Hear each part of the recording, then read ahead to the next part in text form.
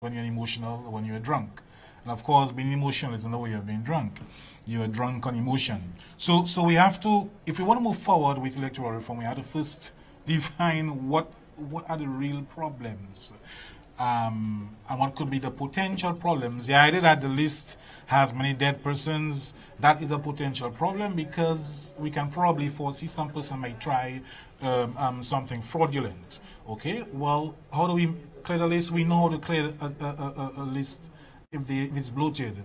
Um, what is the ID card?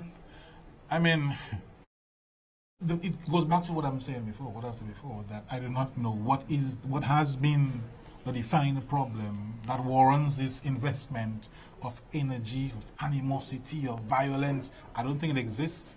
I think what we have to do is to continue to seek ways to improve electoral um, process.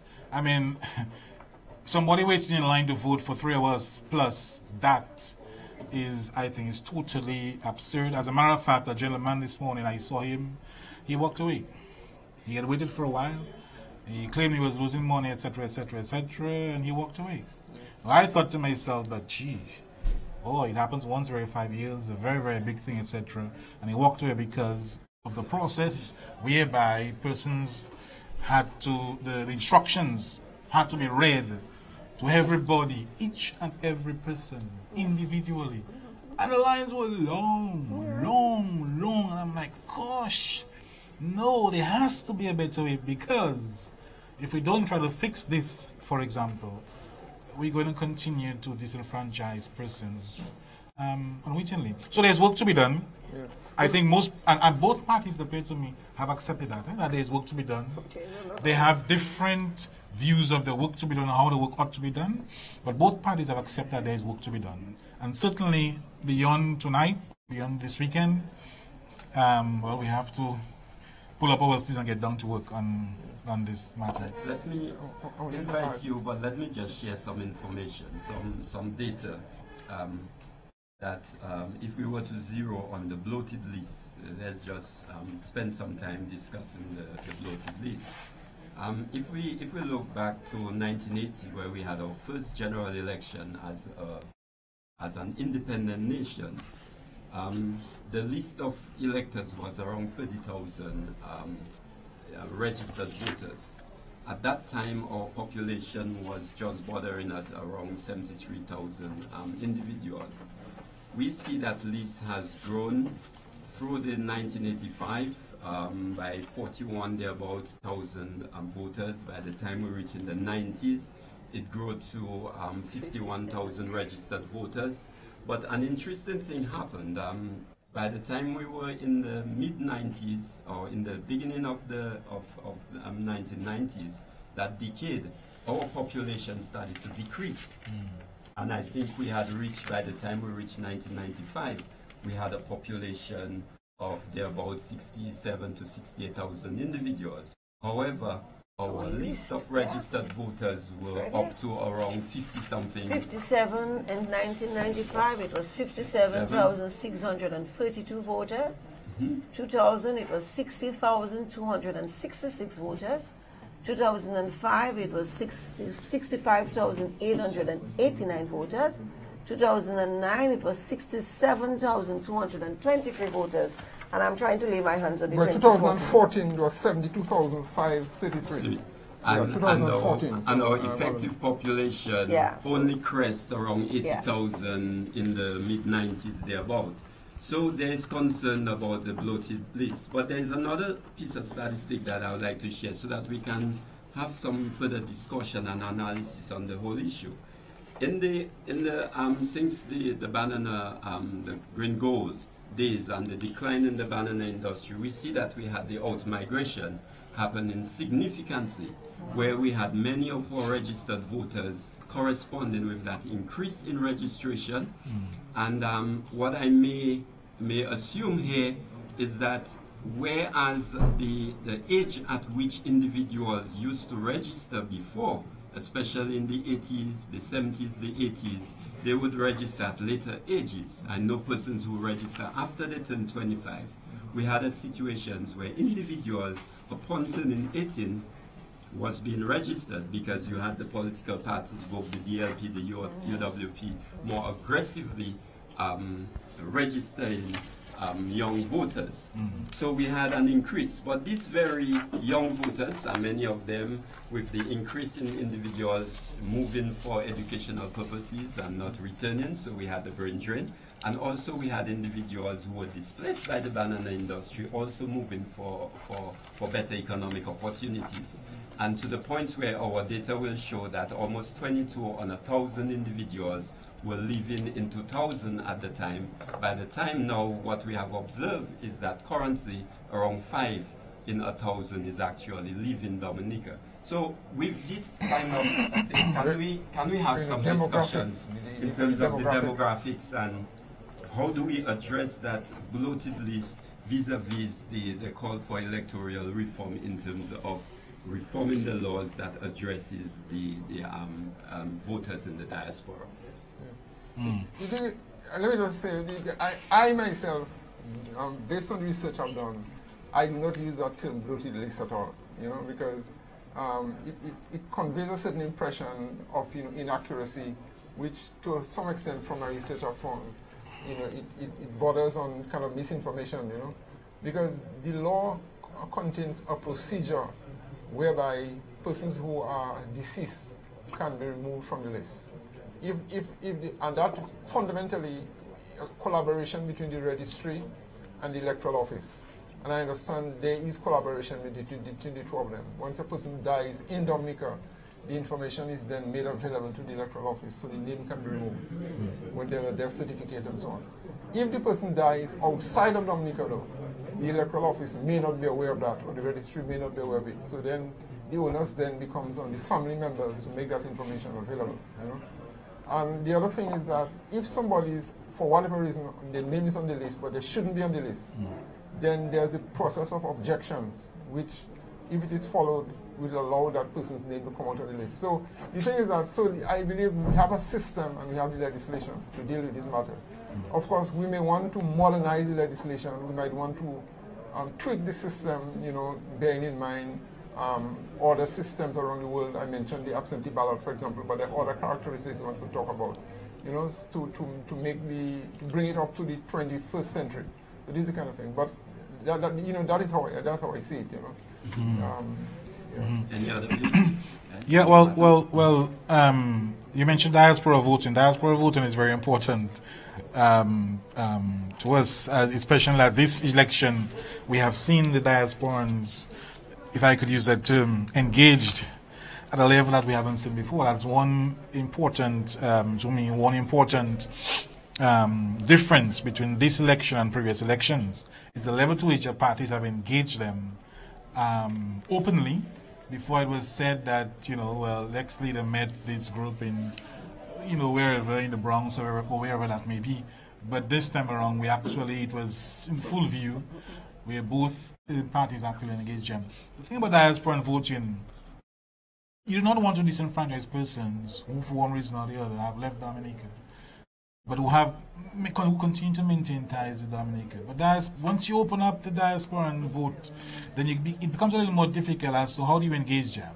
Once a person say, well, you cannot transport persons you can transport persons in Dominica, but you can't transport them via air, um, airplanes because I do not know why, but um, because you just can't do it. Um, then some persons say, well, look, there's of absentee ballot. Some persons would have mentioned as well the idea of um, electronic voting. Um, but to get somebody to vote, you have to engage a person to know what it is that the person actually wants. And I find in my conversations with many persons who do not reside in Dominica, they often they often have a, a very warped image of what Dominica really and truly is. Because it seems to me they're either being fed from one media direction or the other. And when they speak to you, you realize, but this person has really and truly been paying attention. But what he or she is saying might not be totally um, a, a, balanced picture. A balanced picture of what reality is. So if you're going to open up you're going to institute measures to allow to facilitate diaspora voting. you're going to institutionalize diaspora vote. You had to look at how do we engage diaspora so that the diaspora voter is an informed voter. One key element of democracy is that the voter is an informed voter. That's why it's, you know, there's so much pressure on the media to bring out very important and clear information to the to the voter.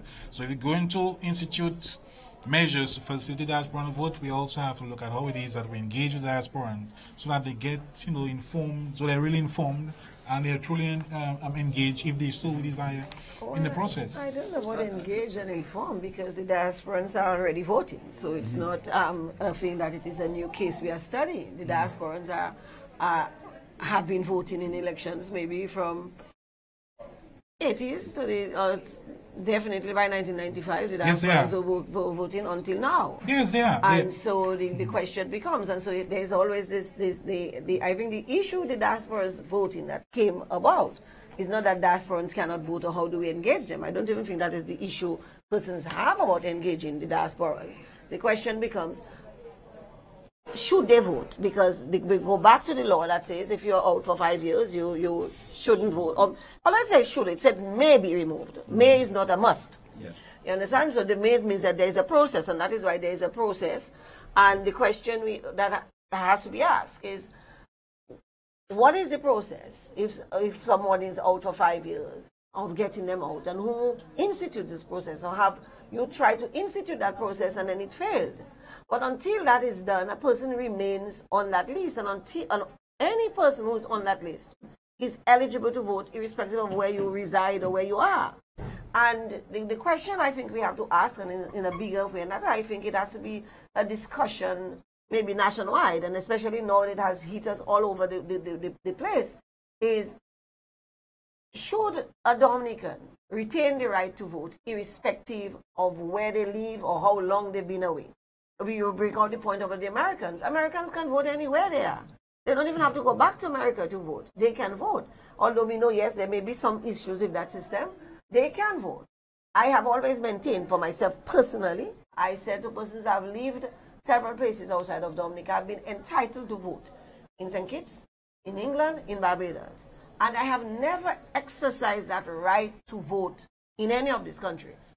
And my as a Commonwealth, as a Commonwealth citizen. As a yes, I can, because in England, actually, they they come to your doors. Right. When I went to do my masters, within a month, somebody was at my in my room knocking and saying they've come to register me, and I'm like, no.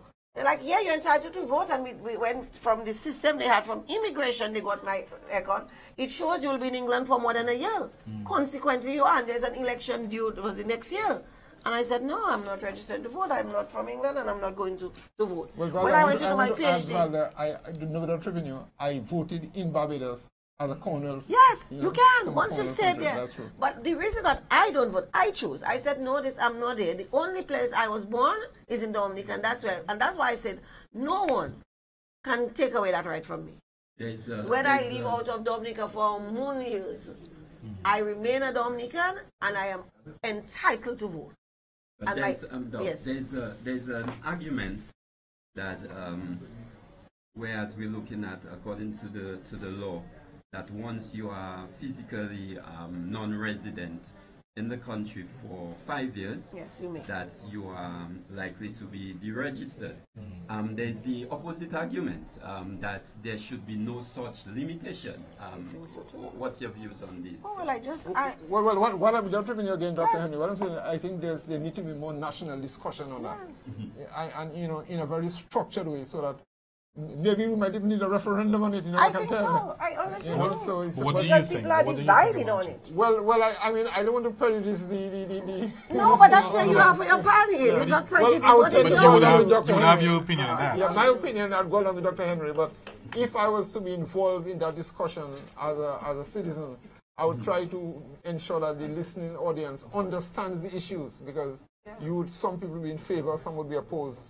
My focus would be to help to reach some kind of consensus that um, we can take forward as a, as, a, as, a, as a society, even if my own personal opinion may be otherwise. Yeah, my vote would be for, that is to maintain the person on the register. The, the, the, the, the right to vote is so, in my mind, so sacred that once you uh, once you attain the, the age, the legal age for voting, that is something that you carry with you uh, up to the grave.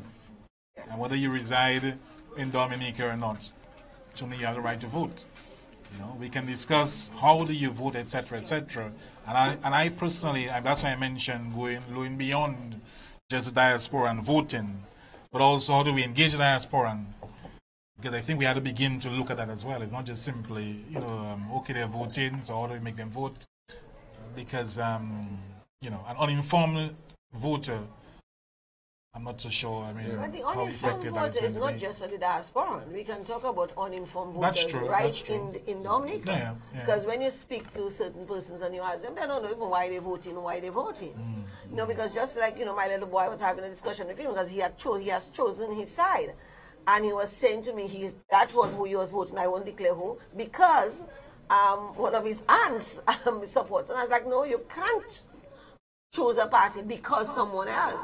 Give me your own reason why you decide that's why he can't vote, of course, why you were voting. And then he and then he gave me some his reasons that were rational for a ten year old, and and and.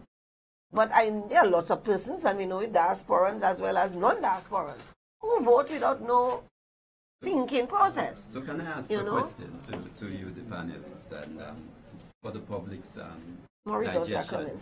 Um, is it a situation where um, we have left the whole electoral process and the whole um, business of elections, have we left it up to political parties rather than it is a responsibility of civil society and maybe to an extent a greater responsibility on the part of the Commission?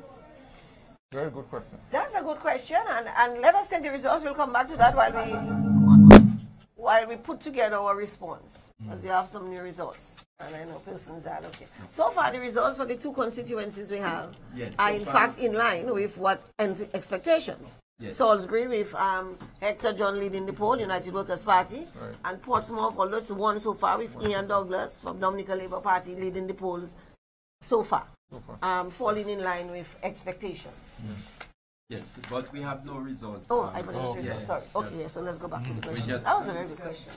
So, so we're discussing, you know, yeah. what, what, what role and what responsibilities do we see from civil society, whether it is a, a responsibility we, we have to amp up with the Electoral Commission because there seems to be the going um, um, practice that political parties, which emerge over the years, they are the ones who take in the whole blunt or the responsibility of actually educating and, and um, making the, the, the, general public and the voting population aware of the elections. Yeah, well, pol political parties will logically be involved in educating their, their, their supporters, right? Yes. Um, however, for us, the, the, the, the, entity responsible for electoral reform is the commission.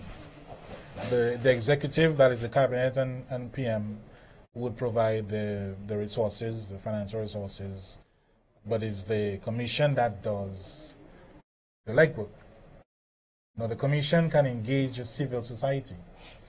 Um, and I would totally be in support of a situation whereby the commission works hand in hand with a civil society that is active I, and I'm, I'm, I'm using these terms because I'm, I'm speaking in the context where I've observed in the past year. I mean, I, I often ask myself where our institutions are they functioning. The civil society, the role of civil society, I would imagine in this electoral, um, the whole cry for electoral reform would have been, should have been, sorry, to to to put together well, a very factual position, sit with the commission and look at how we can truly advance the process. Mm-hmm. Um, I did not see that in this, um, in this during this campaign, and um, and so I was a little disappointed there. But but really and truly, I, I would I would like to see a situation where the civil society works more closely with the commission, that is the institution mm-hmm. established for that purpose um, to advance electoral reform. If we agree that electoral reform is the way to go, but I, I at this point I want to just um, introduce uh, Mr. Julian Morris mm. of, of um, is it mapping? Mm. Yes. Yeah, Ju Mr. Julian Morris is also um, part and of this broadcast, and um, He will also continue um, in sharing some of the results that is coming through.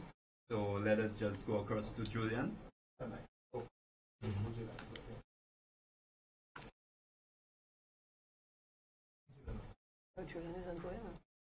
on. Nothing on that screen Nothing on there.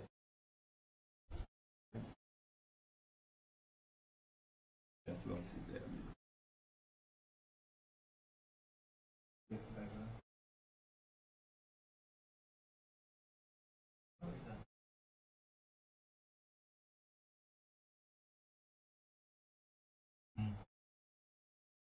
Tell, tell them I want to do some commentary. Might be on there. there.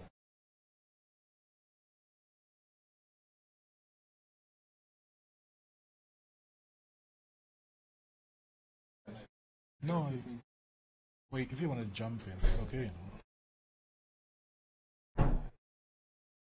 You know? This, this is happening live. Uh, This is not on. It is not on. It's, it's, it's on, Or- but or is it? probably. Okay, all right. Yeah. But it's on. The lights Yeah, on. it, it- okay, it is on, but the but the, the screen is black. All right, it's on.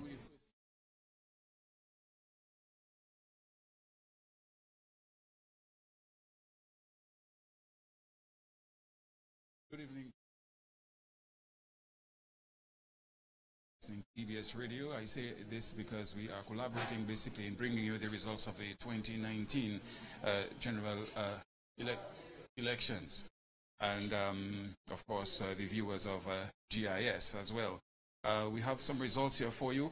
We're a little behind, but uh, Soufriere, uh, TO1, that's um, polling station TO1, 2, that's the that's the uh, primary school there. Um, we have uh, the Sam Christian of the United Workers Party, 34. Denise Charles, uh, 130. Polling station TO2, 5. Uh, that is uh, the village council. Uh, surnames F to M. You have uh, Sam Christian, 57, and Denise Charles, 153 polling station TO4, TO4 11. Uh, that's at the Pointe Michel uh, Resource Center with surnames O to Z, 72 Sam Christian of the United Workers Party, and 124 Dennis Charles of the DLP. We do have uh, some results as well coming in from uh, Portsmouth uh, in uh, polling station LO37, A to D, the RDPS, uh, Jefferson James 41 to 128 for Ian Douglas. In uh, Salisbury, Salisbury, polling station QO37, K2R at the Gospel Hall, Hector John 100, Nichols Esprit 17. Polling station QO38 on the surnames S to Z at the Gospel Hall, the same, the same place, Hector John 112 and Nichols Esprit 31. Uh, apologies again for coming in late with some of these uh, results. There were certain uh, challenges earlier on. We, as I said, we were receiving results, but it was not specific as to which polling station these results were coming from. That had to be clarified as well. So we will continue uh, throughout the broadcast, bringing you updates as we receive them. Repeat.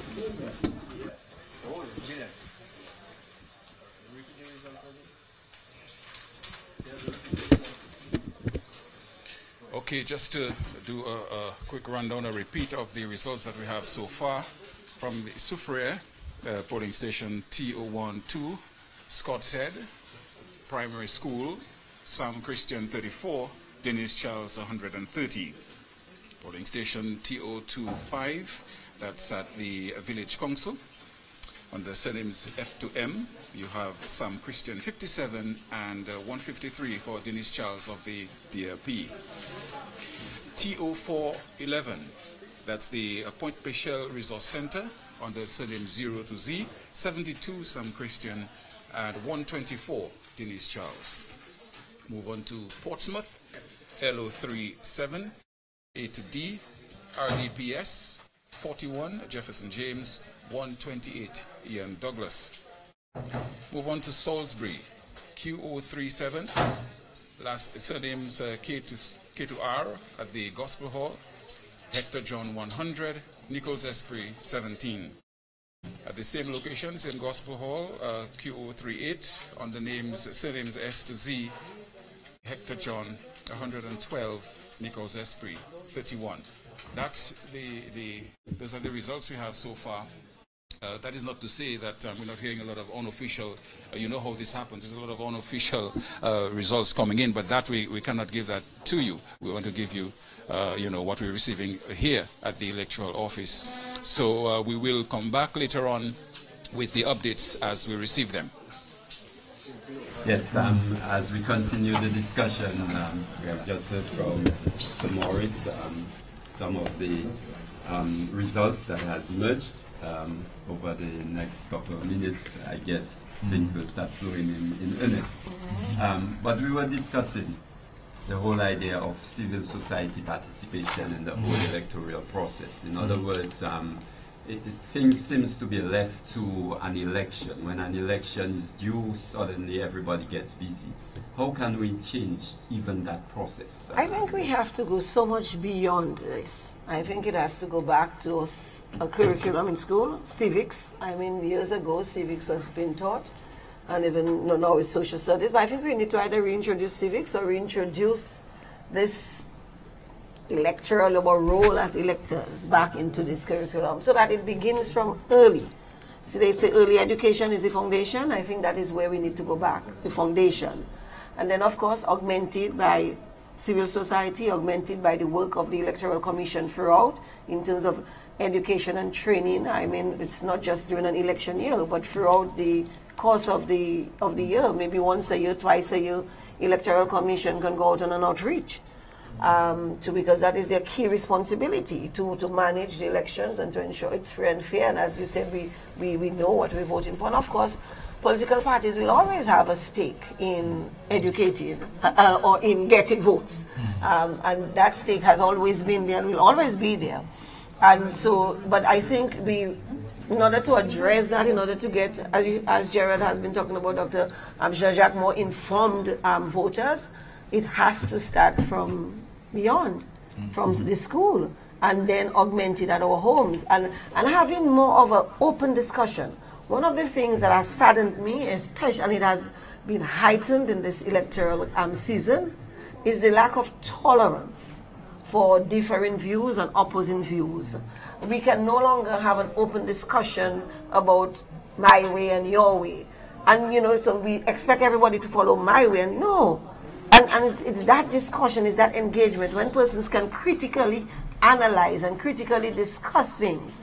Then we're going to have more informed voters. Then we're going to have, you know, let us say, you know, better governance too, because if we are more informed, we are also going to demand more from the, the our government. And so it, it, it is something that is just not to wait for election or just relegated to the two main persons who we think with the responsibilities, but I think we need to go much more, much beyond um, those. Yes. Uh, is, um, over the period of um, the past um, weeks, has there any been any observations that would allude to definitely, what evidence do we have to say definitely that have eroded? She has mentioned the, the lack of tolerance in opposing viewpoints um, individuals' in, inability to express themselves without being attacked.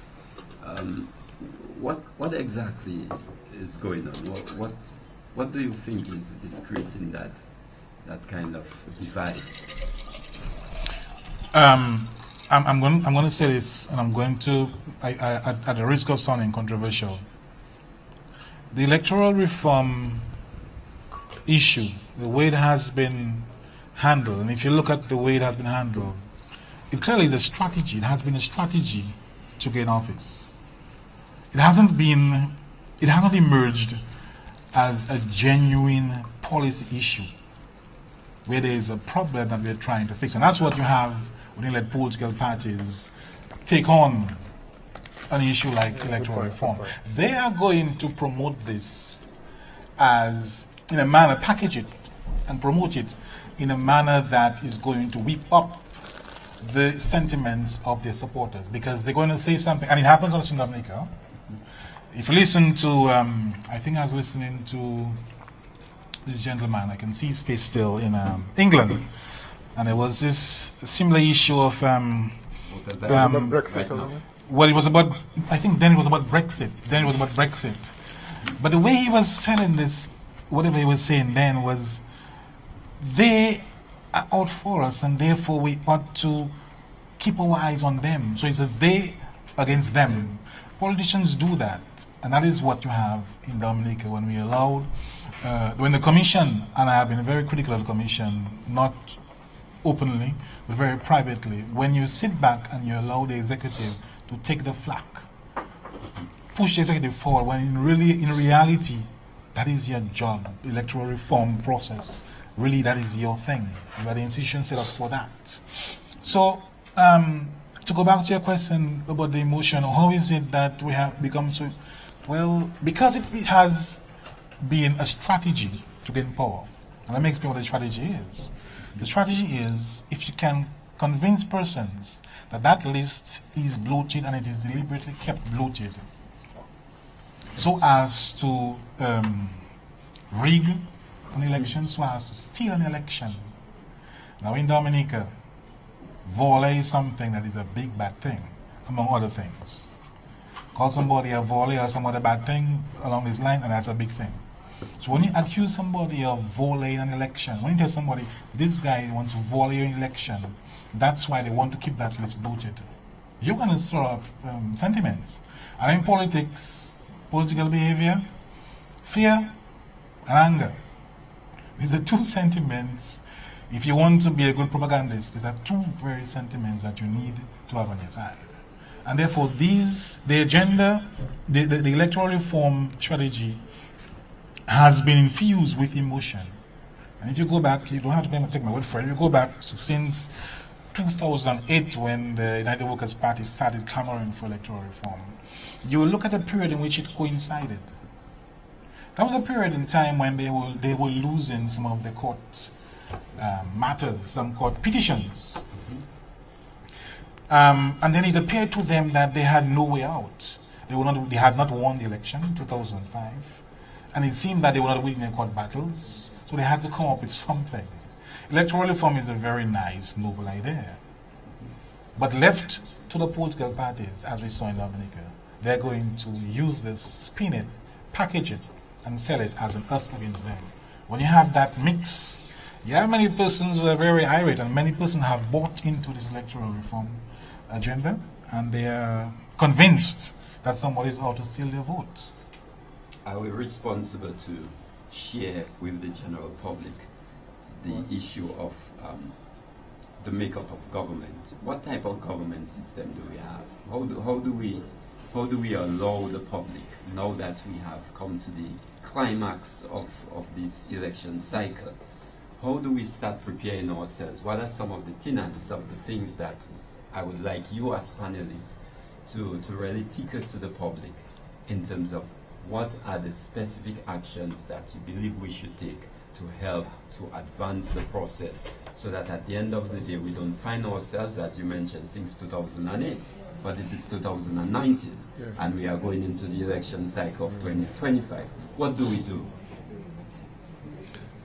I, I, I was speaking, I had the conversation with some persons, and, and what I, I'm going to say is, I'm going to be very, very brief on this because I think I think the way for us to begin as of next week is to start having some a national discussion because there are persons who genuinely believe that some persons are out to do them bad. So let's have a frank, honest. France had a, a national debate, um, not after this round of yellow vest protests, but the previous round of protests. Mr. Macron then had a, a a national dialogue. We need national dialogue. And I and I and I'm I have been thinking about this and I'm willing to begin to work so we can sit down and have a national dialogue. We have persons with the grievances, they can bring them out and what you're going to have, what I hope will come from that, is persons can begin to understand how the process works. And it has to be in such a manner that all and sundry are allowed to participate. The man who hasn't doesn't have a CXC subject, as well as a person who has X number of PhDs. Okay, that I believe is one starting point. The rest, well, my colleagues may have some other ideas. Um, well, you see, the thing, see, what I'm concerned about is that, um, you know, some people, at the end of the day, Dominica is a small island developing state, and the getting the economy to perform close to its potential, you know, it takes a lot of time, energy, um, you know, um, management skill, you know, um, your, your link with the outside world, investors, financial institutions, and so on. And and you if you're not careful you can get yourself you know distracted in a number of areas that will um, minimize the amount of attention you have to give to your priorities. So i take the point you're making um, that um, one has to deal with those matters so that they do not continue to occupy so, such center stage because really um, th these things really are, are, really a means to an end they, they don't end, they end themselves and i believe that um, um, we are we are we are not, we are on a, on a path now where we're moving more and more into the services sector, so, through the tourism tourism arena, and um, that is highly competitive. Whereas bananas was was very uh, you know protected. Remember, we were talking pre-WTO when we were very sheltered, and we really made a lot of progress in that arena. And we enter in this new arena. It looks very attractive and, and very um, um, the way that we can raise the standard of living for people but it is much more competitive, and therefore standards and efficiency and you know and, and, and, and, and issues of that nature will become much more center stage, um, value for money and things of that nature. So it's important that we, we get this matter behind us, and what you've suggested is just as good an approach, and what Dr. Henry um, has suggested also, so that um, this becomes a non-issue going forward. I think that's the kind of thing we're talking about. I mean, with respect to the Electoral Commission, um, um, um, is, there, is there need for some reform of that body? Is there need? I'm not saying there is. I'm just saying that. Which body? Um, the, the, the commission. Yeah, the commission. Okay. I'm just asking the question because, as you know, with the passage of time, you need to modernize. You need to um, bring in best practice. It's something we that sometimes you have to do a certain amount of introspection. But at the end of the day, um, we have to be concerned about ensuring that our society is moving forward in line with its capacity to generate income, wealth, and the standard of living for the, for the majority of the people of our country. That has to be, uh, must continue to occupy our attention and, and, and, and not allow other matters, important as they are, to distract us. So we should deal with them in a very professional way and more results-oriented way so that um, we can get on with the, with the um, business of the quality of life and the standard of living for the majority of the Dominican people. Um, Doc, um, as you going into to, um, to share on, on, on the same issue, I just want for us to extend, because as he indicated, what are the priority in terms of the focus? But having had electoral reform dominate the focus in, in this election cycle, and considering the fact that we still have the priority in terms of our economic development, where do we see our economy going? That gives us the backbone to sustain the kind of, of, of reforms that, that we are suggesting here to what extent, um, in the post-election um, period, um, those whatever we, we channeled or we championed a while ago in terms of pursuing an urgent agenda for electoral reform, not going to create some sort of distraction and, and some retrogression in terms of what are the priorities for our country development right now. What would you share on this? Indeed, in fact, I, I kind of share some of um, Dr. Douglas's view. But I, my first response was, it's why electoral reform dominated, especially in the large, larger part. It's not the only issue that has created this division, that's created this um, kind of an anger. There's an anger in Dominica that whoever wins this election has a lot of work to do.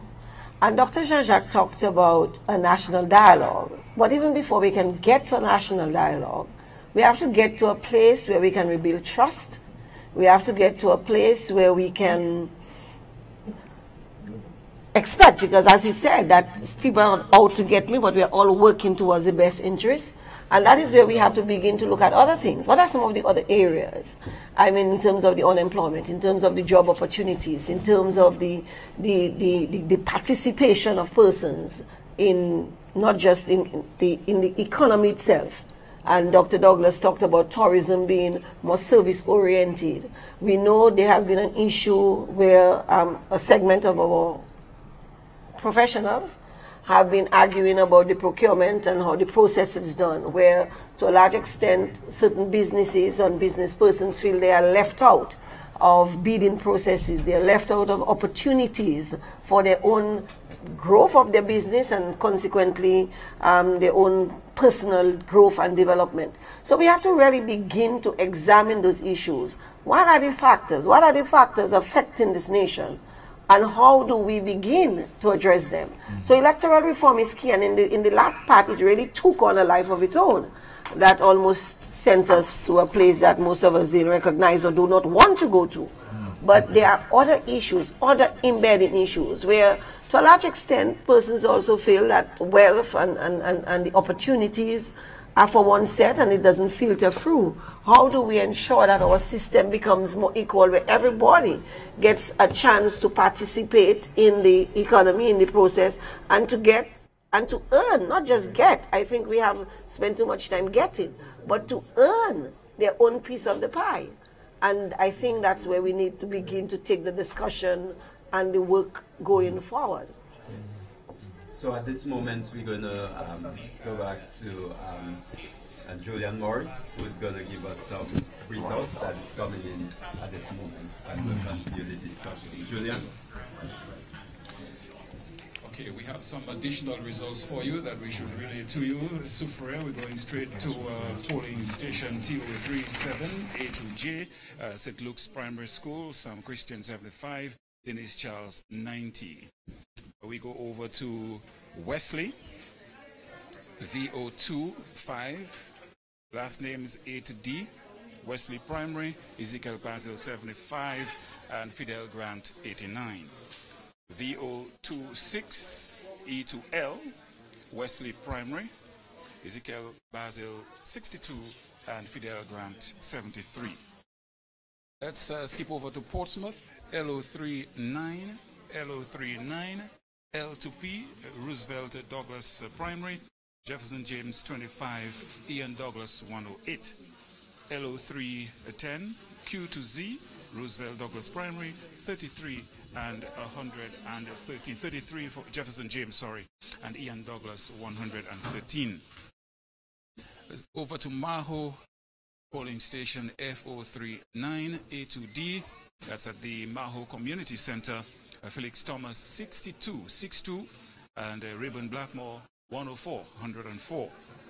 FO311, K to Q, the Mahaut, the same place, Mahaut Community uh, Center, uh, Felix Thomas 41, 41, and Rayburn Blackmore 76, 76.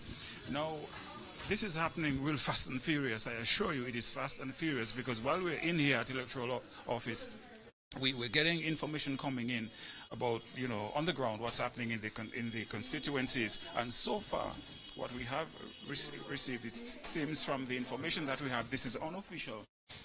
But I just received a list uh, from a very good source here that uh, the DLP may have um, made headway in a number of constituencies already. And I'm going to name them, but I remind you carefully that this is, it is not official.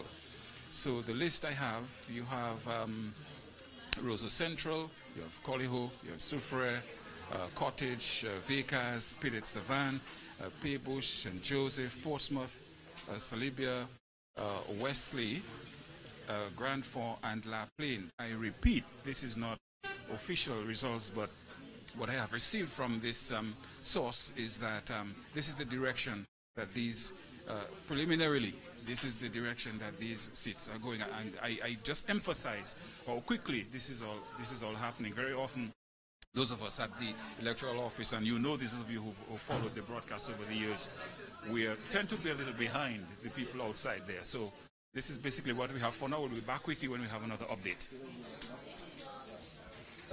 Yes, so we have heard um, from Julian Morris um, the latest on, on the um, results. Um, he has given some unofficial results in terms of um, seats. But we're going to continue the discussion and um, we really want to analyze elections and analyze post-elections also what, what really is necessary as we see uh, a new government being formed, a new mm. government being installed. Um, what do you see as the priorities um, really for a new government in the next five years? Number one has to be governance. Going forward, the governance framework of the, of the country has to be enhanced. As the OECD says, and it says that the governance of, of a a country is determined by the governance of the government. And a lot of the stories and the accusations and maybe some of the evidence kind of lead to the fact that maybe there needs to be greater transparency in the governing and the governance of our country. That has to be a priority going forward. Employment, job creation and employment for the youth has to be another priority. Um, our education system. I mean, we, I think we're doing relatively well on education in terms of the great opportunities that have been provided for children, for young people, especially in terms of um, higher education. And that has to continue. The health, I think we have to pay greater attention to health. While, yes, I know we, the PMH is being, you know, we're getting a brand new hospital. But it's not just about a brand new hospital. It's ensuring that we have functioning things, ensuring that the, our, our this, this, this service um, element to it.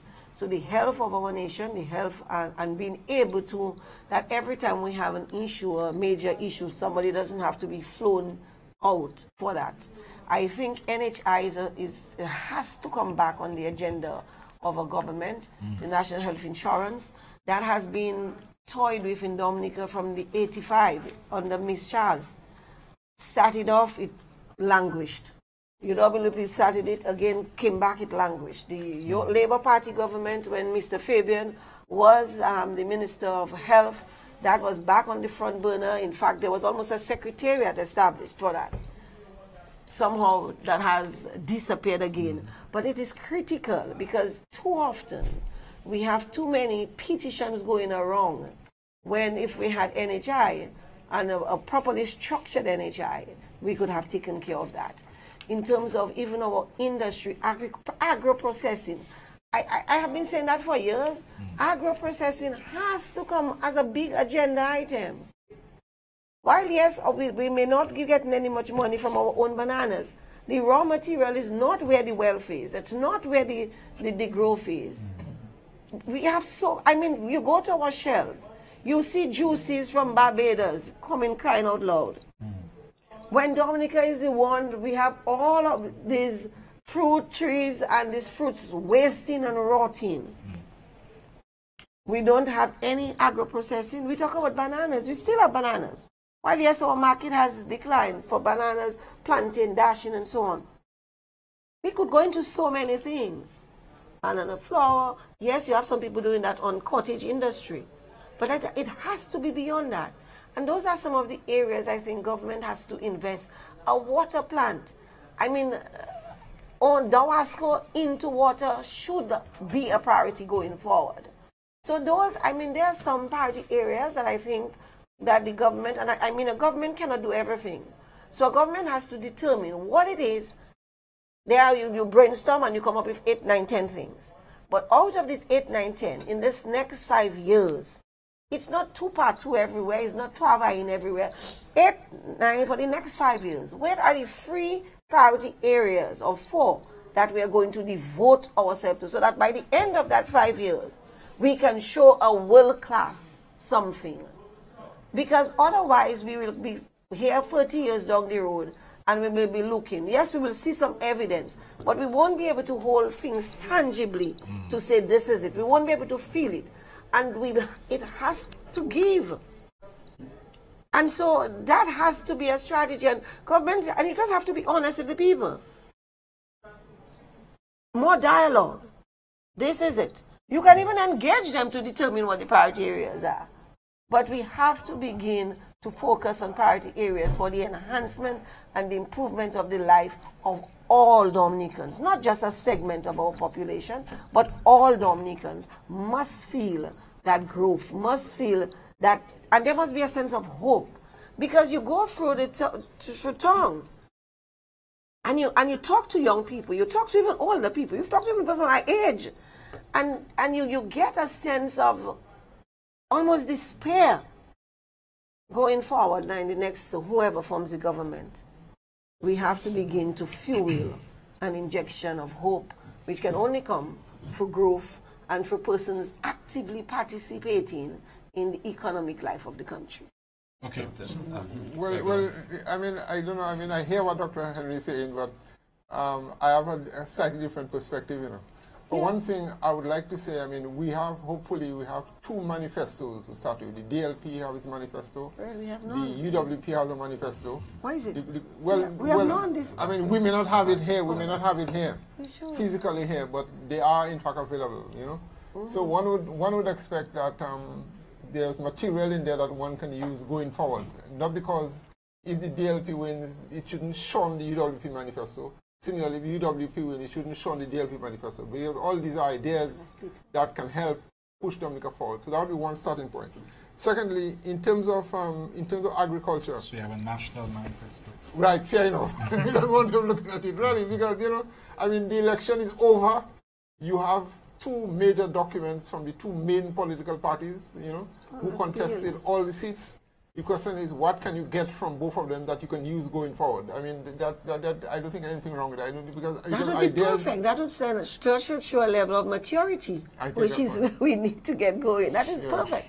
And hopefully, you will get more sort of buy-in from those who didn't support whoever won the party, because some of the ideas, some of the aspirations will be incorporated going forward. Um, Okay, that's what you, you want to say something? No, after you. Okay, right. So that's one thing. Secondly, as I, as I hinted earlier, there's a major transition on the way with the tourism sector. I mean, previously, Dominica was not involved in the high-end tourism, you know.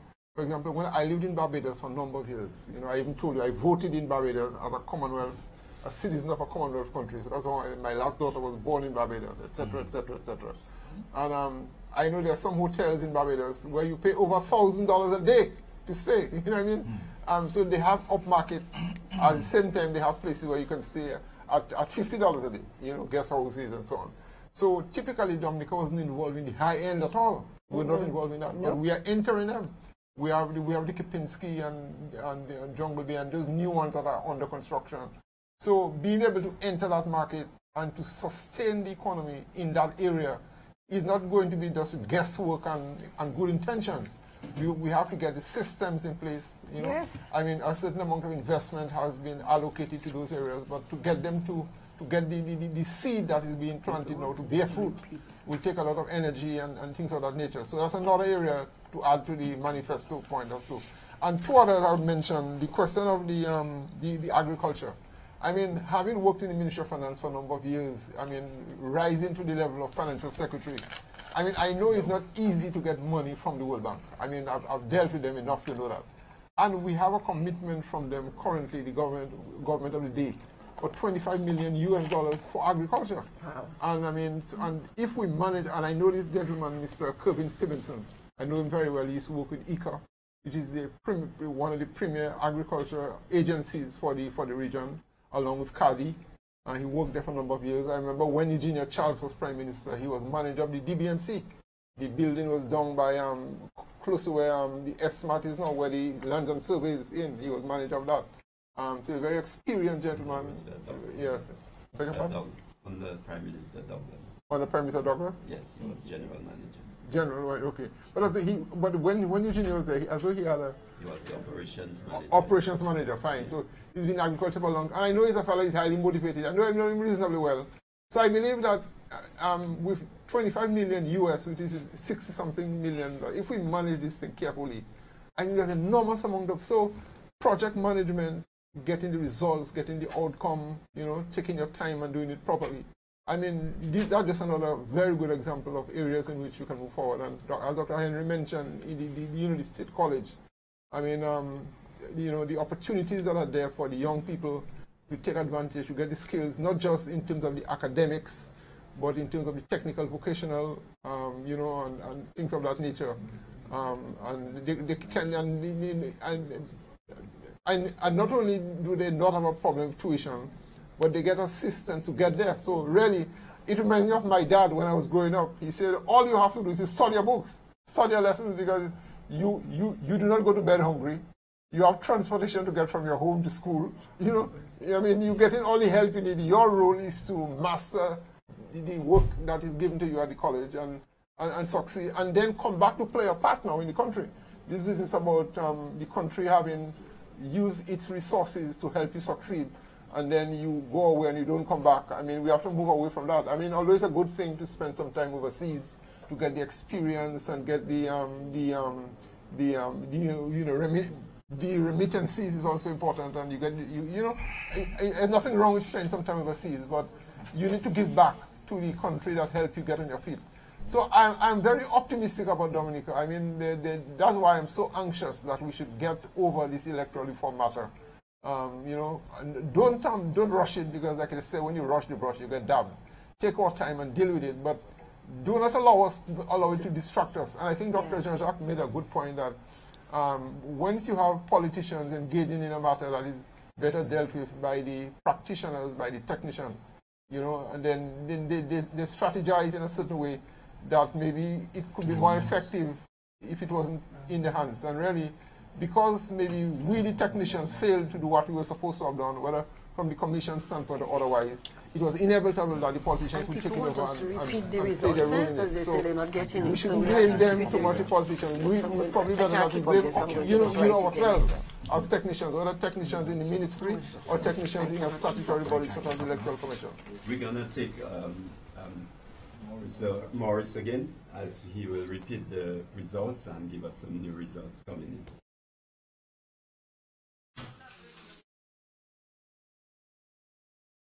We have some additional results for you now. Let's go straight to uh, Primary, that is uh, polling station VO2, S to Z, Basil 64, 64, Grant 53, 53 with one reject ballot. Woodford Hill Primary, VO1, Q to Z, Basil 52, Grant 77, 77, rejected ballots 1, and there's one spoiled ballot. VO1 I to P, that's the Woodford Hill Primary, Basil 63, 63, Grant 90.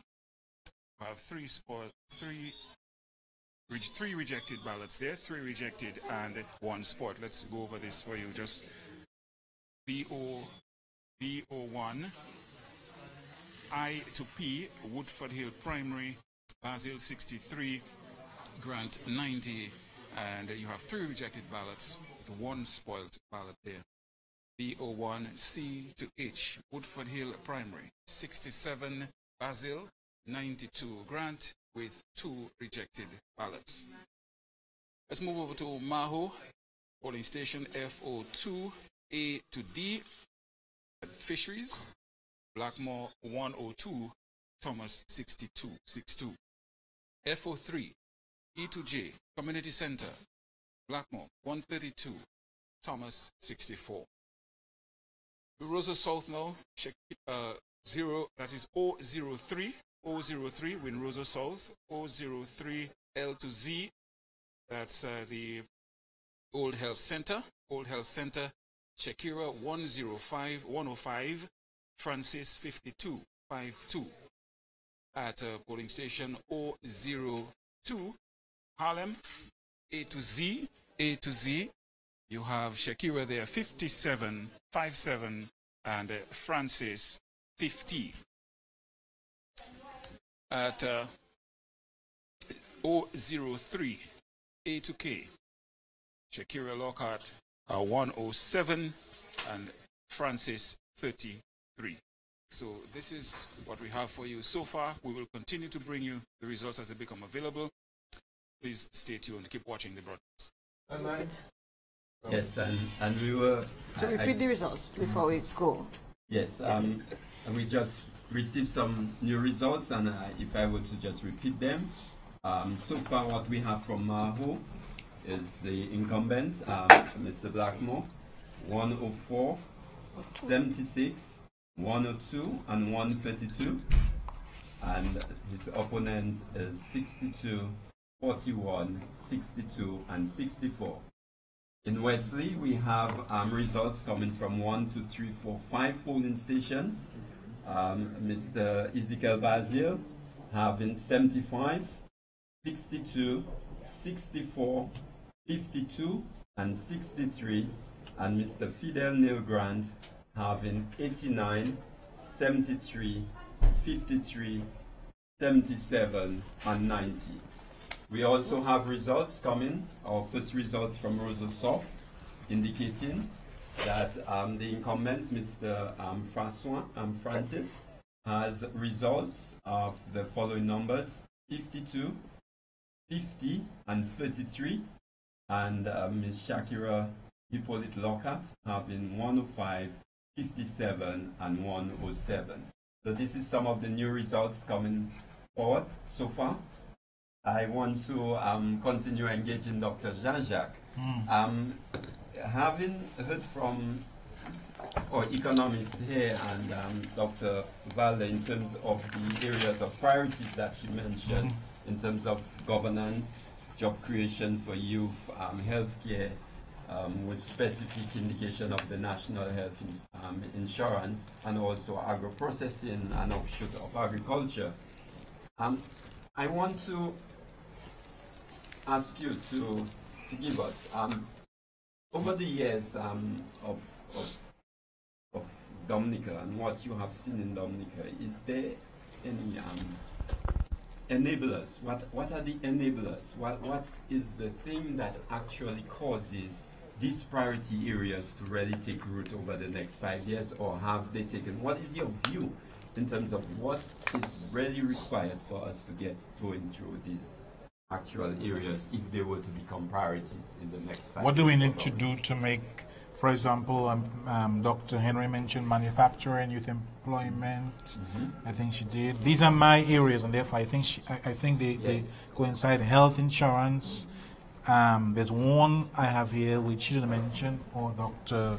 Um, Douglas didn't mention go back to my national dialogue and I can speak some more about that. What do we need to do to make what, all of this what, what, what, are the enablers? Let's let's speak to the enablers so that the, the general public can understand that what is required to make those things happen and where we are as a country in terms of those enablers. Boy, Dr. Present. Henry wants this one. And I heard her in the radio, not, in the news not too long ago. And I am sure she has a lot to it's say on both the manufacturing and the youth. Yes, but no, I'm not even going to go into detail. You know what I think is needed? A national vision for this country.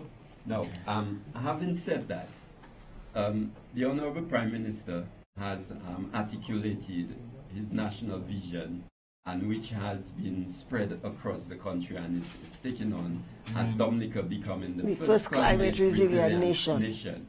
To what extent your, your, your statement that we need a national vision and the national vision that is exposed by, by the Honorable Prime Minister, to what, ex, what, what is the thinking here? Very good. That is where I was coming, but you jumped ahead. So what it said to the Prime Minister after Maria, Dominica the first climate resilient nation in the world. So if that's our national vision, the question becomes, what does that mean to the average person on the road? Mm. Has the average person on the road understood that? What is his or her role to play in that? And that has to be critical. Until we get there, it's just a statement. And we have not done that yet. And we, that's just a statement. We have not done that and yet. I, I give an example of Trinidad, Vision 2020. Remember when Trinidad, three years back, said Vision 2020, mm. Trinidad uh, developing world, a first world nation? That went through. That message went through. So you enter Trinidad from the time you got in, from the immigration officer you met first, to the custom officer, to the taxi driver you met outside. Before you even entered Trinidad proper, everybody spoke to you about Vision 2020 and their role to play. I was so impressed with that. When I got on a taxi and the man said, you know, have you heard about our vision? And he begins to tell me. And he says, you know what is my role as a taxi driver? I am one of the first ambassadors you meet. It means I cannot have a, a vehicle that's broken down. It must be tied. It must be this. It must be that. I, and he began. By the time you got to Trinidad, by the time I, when I left Trinidad, you swear I was Vision 2020 myself. But no, more than that. The government changed.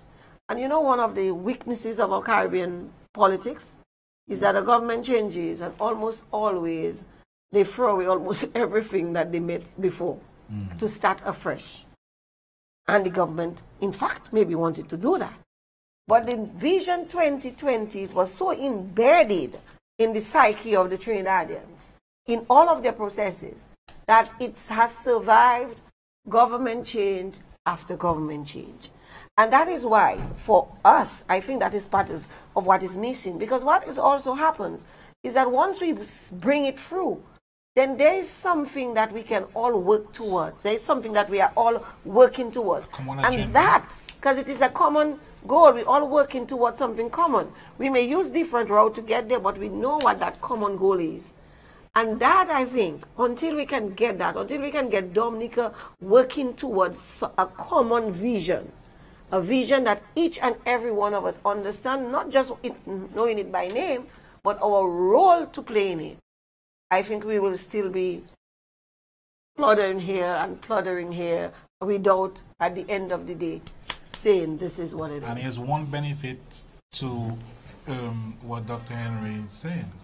One of the benefits of, of, of making this vision, uh, articulating it such that everybody knows it's open, is that it reduces the cost, it shares the cost of implementing the vision. Mm -hmm. Let's take the, the, the resilience yeah. agenda, for example. Yeah.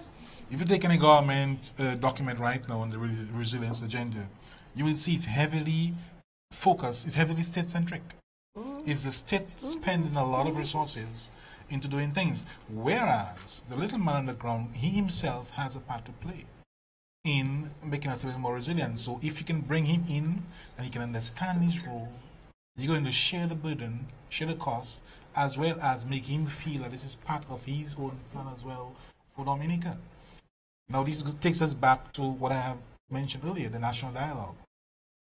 We have the resilience agenda. It seems to me most persons have, you know, embraced it. Most persons are aware of it, although most persons are not, as Dr. Henry said, you know, they, they haven't really made, made it part of their own. But for us to for us to move forward, we ask me moving forward beyond tonight, beyond this weekend. I truly believe we need to sit down with people. I have in my head what I call a citizens council. So it's not just sit down for one month and we talk and talk and talk, take notes and we have a document, etc. It's not just that because the document has to be a living document, otherwise we waste our time.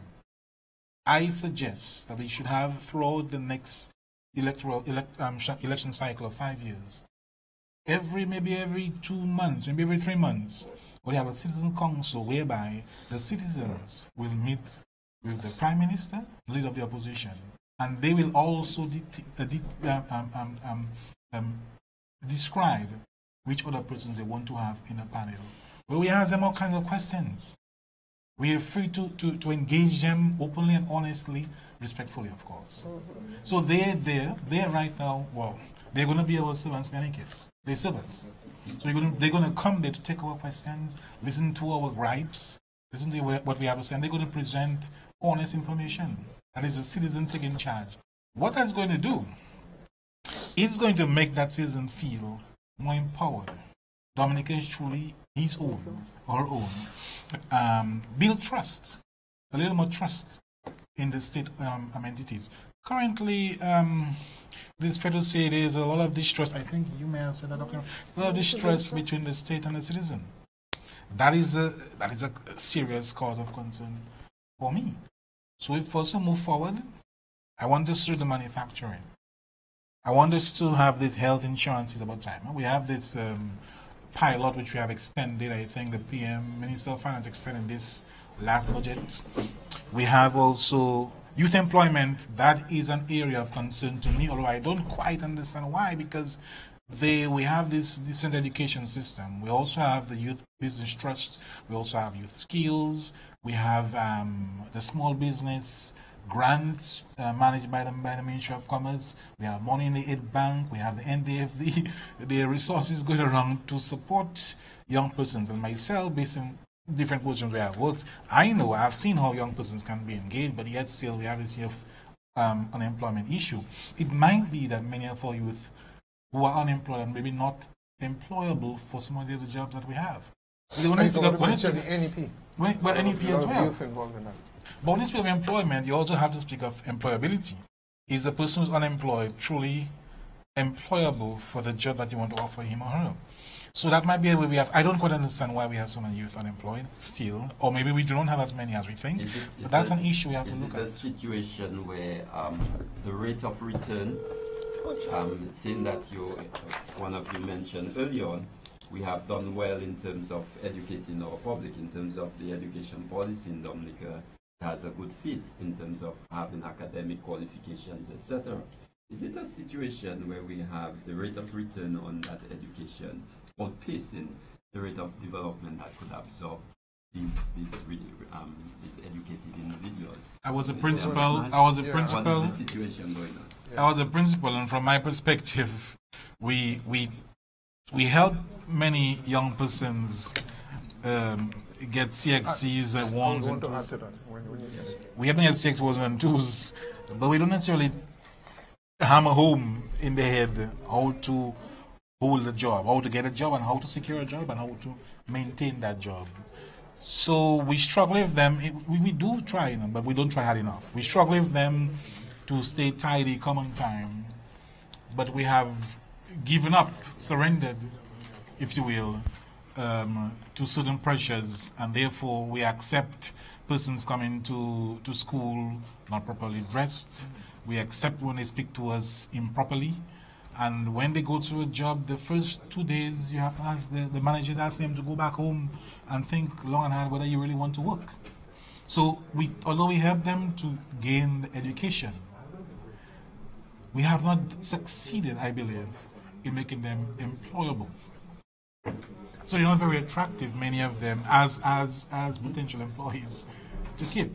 I mean, we have we have a number. of I, I would, maybe I would mention that um, institution, but we have cases in Dominica where young persons, when they go to work, they cannot they struggle because the discipline of being on time, um, eating certain, you can't eat certain areas, you can't do certain things. You know, that is a little too much for them.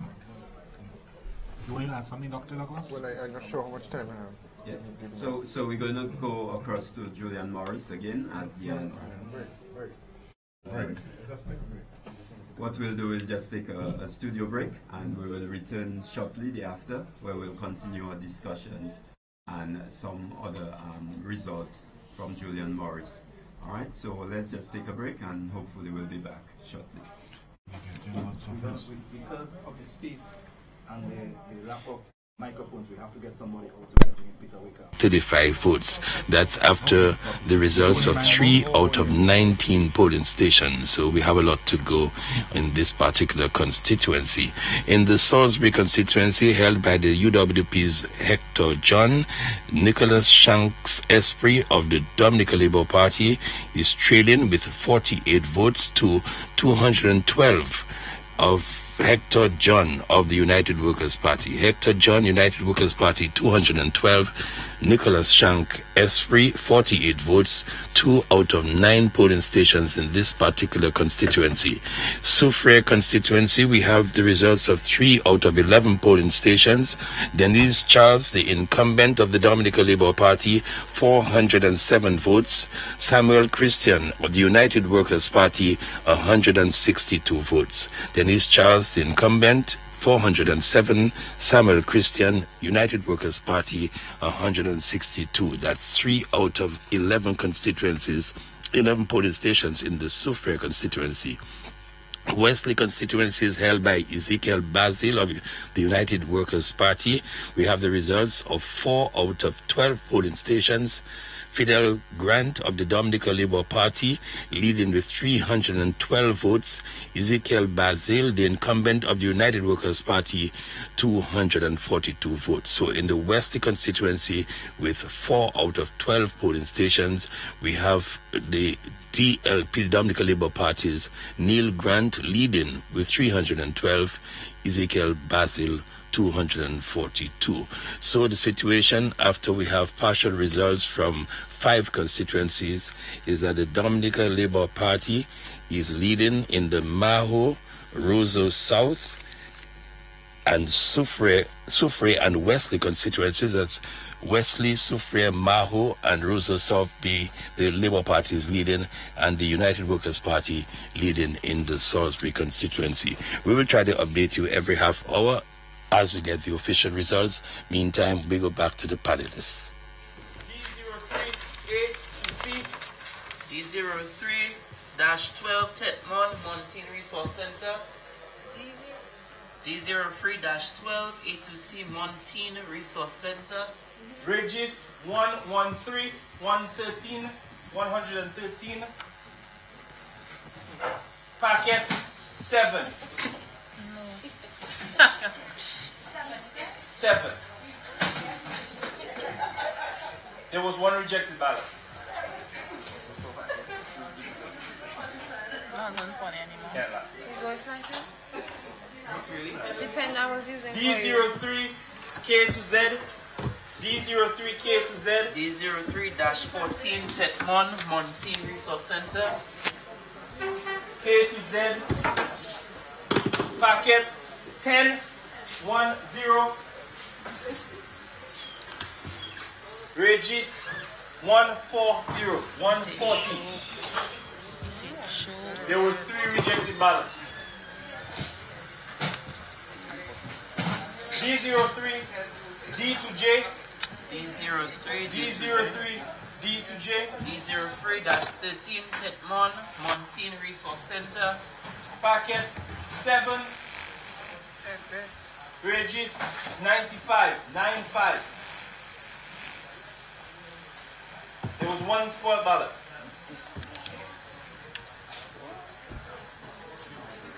D02, A to A. D02-5 Grand Bay. House of Melanie Henderson. A to A. D02, A A to. A. To A. Packet 8. Regis 56, 5, 6. 10 rejected ballots. Wow. Oh my god. That's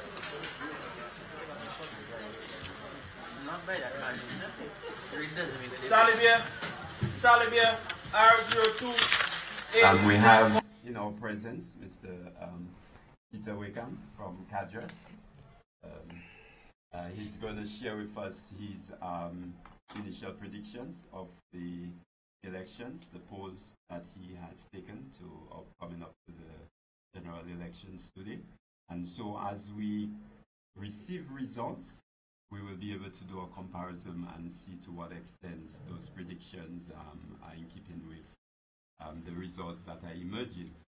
So I would like to allow Mr. Peter Wickham to introduce himself and, and to give us some um, ideas on what is worked out and how we can to our discussions this evening. Okay, thank you for, for the invitation, and it's good to be with you. This is my first Dominica election. Uh, I've covered several elections across the region. This is my first time I'm actually making it here, so I'm happy to be with you. Uh, and it looks as though it's historic. That I think is the, the significant point that has to be made. Um, let me just tell you, you know, in, in the interest of disclosure, that the polls that we did, the polls that we did did show that there would be a swing against the Labour Party, um, but we had estimated that swing would have been in the vicinity of around 2%. Um, my sense was that that would have been insufficient to dislodge the Labour Party, but we felt that the Labour Party would struggle to manage several marginal seats, and I had identified between five and seven of them that were marginal. Um, what happens tonight, what seems to have happened is that they seem to have been able to manage these seats, uh, and they have been able to manage them so well that they were able to capture the marginal ones and, and, and were able to identify one or two more to add. Uh, I'm particularly keen on the analysis of Central, because my sense was that Labour obviously had a strategy that said if they can anchor their support in Central and they can start, one can say, an assault on Roseau, uh, to bring Roseau back to what it, it, it would have been. Uh, by pri- putting the Prime Minister's wife in that seat, the idea would have been to essentially set up an anchor. And that seemed to have paid dividends. Uh, so that seems to be what is happening. My, my sense now is that your estimated swing will be a pro Labour Party swing. and it will probably be to the to the extent of around two or three percentage points, which is consistent with the uh, margin of error that our polls would have predicted. So I think that the polls have, have stood up well. Um, what you will end up, however, with is uh, a government that is stronger numerically, but there are going to be a whole lot of seats that are marginal. Uh, and I suspect that you'll be heading to court tomorrow morning, bright and early, where the UWP will be challenging the results in pretty much all of them that they believe that they would have won uh, by, uh, uh, well, the margin is, is relatively small.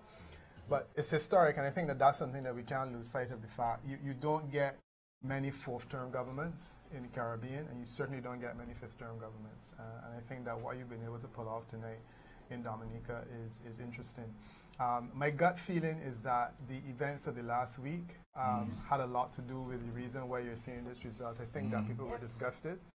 Um, my, my feeling as I was coming over and speaking to people a lot of people who were saying to me that they were afraid of this outcome because they were concerned at how the UWP would react, how they would be able to take defeat. Now, my, my sense is that Dominicans were, were perhaps sickened by what they saw, uh, and that's what they have, have voted against. Uh, and let's be clear, uh, uh to be able to lose uh, an election, a fourth term election for the UWP, is, is a major indictment because normally by the time you have reached fourth term, exhaustion alone should be enough to be able to propel you into office. And if you're not able to do that on this occasion, as I said, it's a huge indictment in terms of what they brought to the table in the election. So those are my initial comments. Uh, I am really happy that it has been peaceful. Uh, I was very concerned that it might not have been, and I think that that is a major achievement. This country has been through enough with hurricanes and natural disasters to not have to add uh, an unpeaceful election, and that's part of the reason I thought that the events of the last week were so so unfortunate. Now, the events of the last week has been um, centered around electoral reform. Yeah. Um, what was the senses you were capturing um, before that um, would uh, indicate that it would have a significant impact on the overall results today? So you mean what were people saying about electoral Sorry. reform? Yeah. No, I mean, as I said, when I did my poll, I asked people about the key issue that was keeping them up at night. People were concerned about the economic situation. They were concerned about employment. Electoral reform was not something that was mentioned. Having said that, however, I do believe that Dominicans would like to see reform. I mm. believe that it is something that people think, you know, the time has come. Um, the, the, issues which are on the table, issues of cleaning up the voters list, is, is not unreasonable. Uh, the voter ID or national ID, which is what I really prefer, a national ID, that is also not unreasonable. Um, and then you have to answer the question of overseas voters, whether it is something that you're comfortable with and you want to maintain, or whether it is something that you want to keep in check. Uh, we have a huge debate going in St. Kitts and Nevis now about overseas voting, uh, and that has taken on all kinds of different proportions because the opposition there is opposing it they are opposing the, the removal of overseas voters. So the issues I think are reasonable issues that have to be discussed. My challenge all the time was that you cannot sign on to an election, say you're going to fight it based on rules that are existing, sign a code of conduct with the church, mm-hmm. and then say that you are demanding electoral reform in what it would have been two weeks uh, or three weeks. It's, it's just unrealistic. And I think that was my challenge and the challenge a lot of people had with the demand that it's unrealistic to expect reform to happen in three weeks.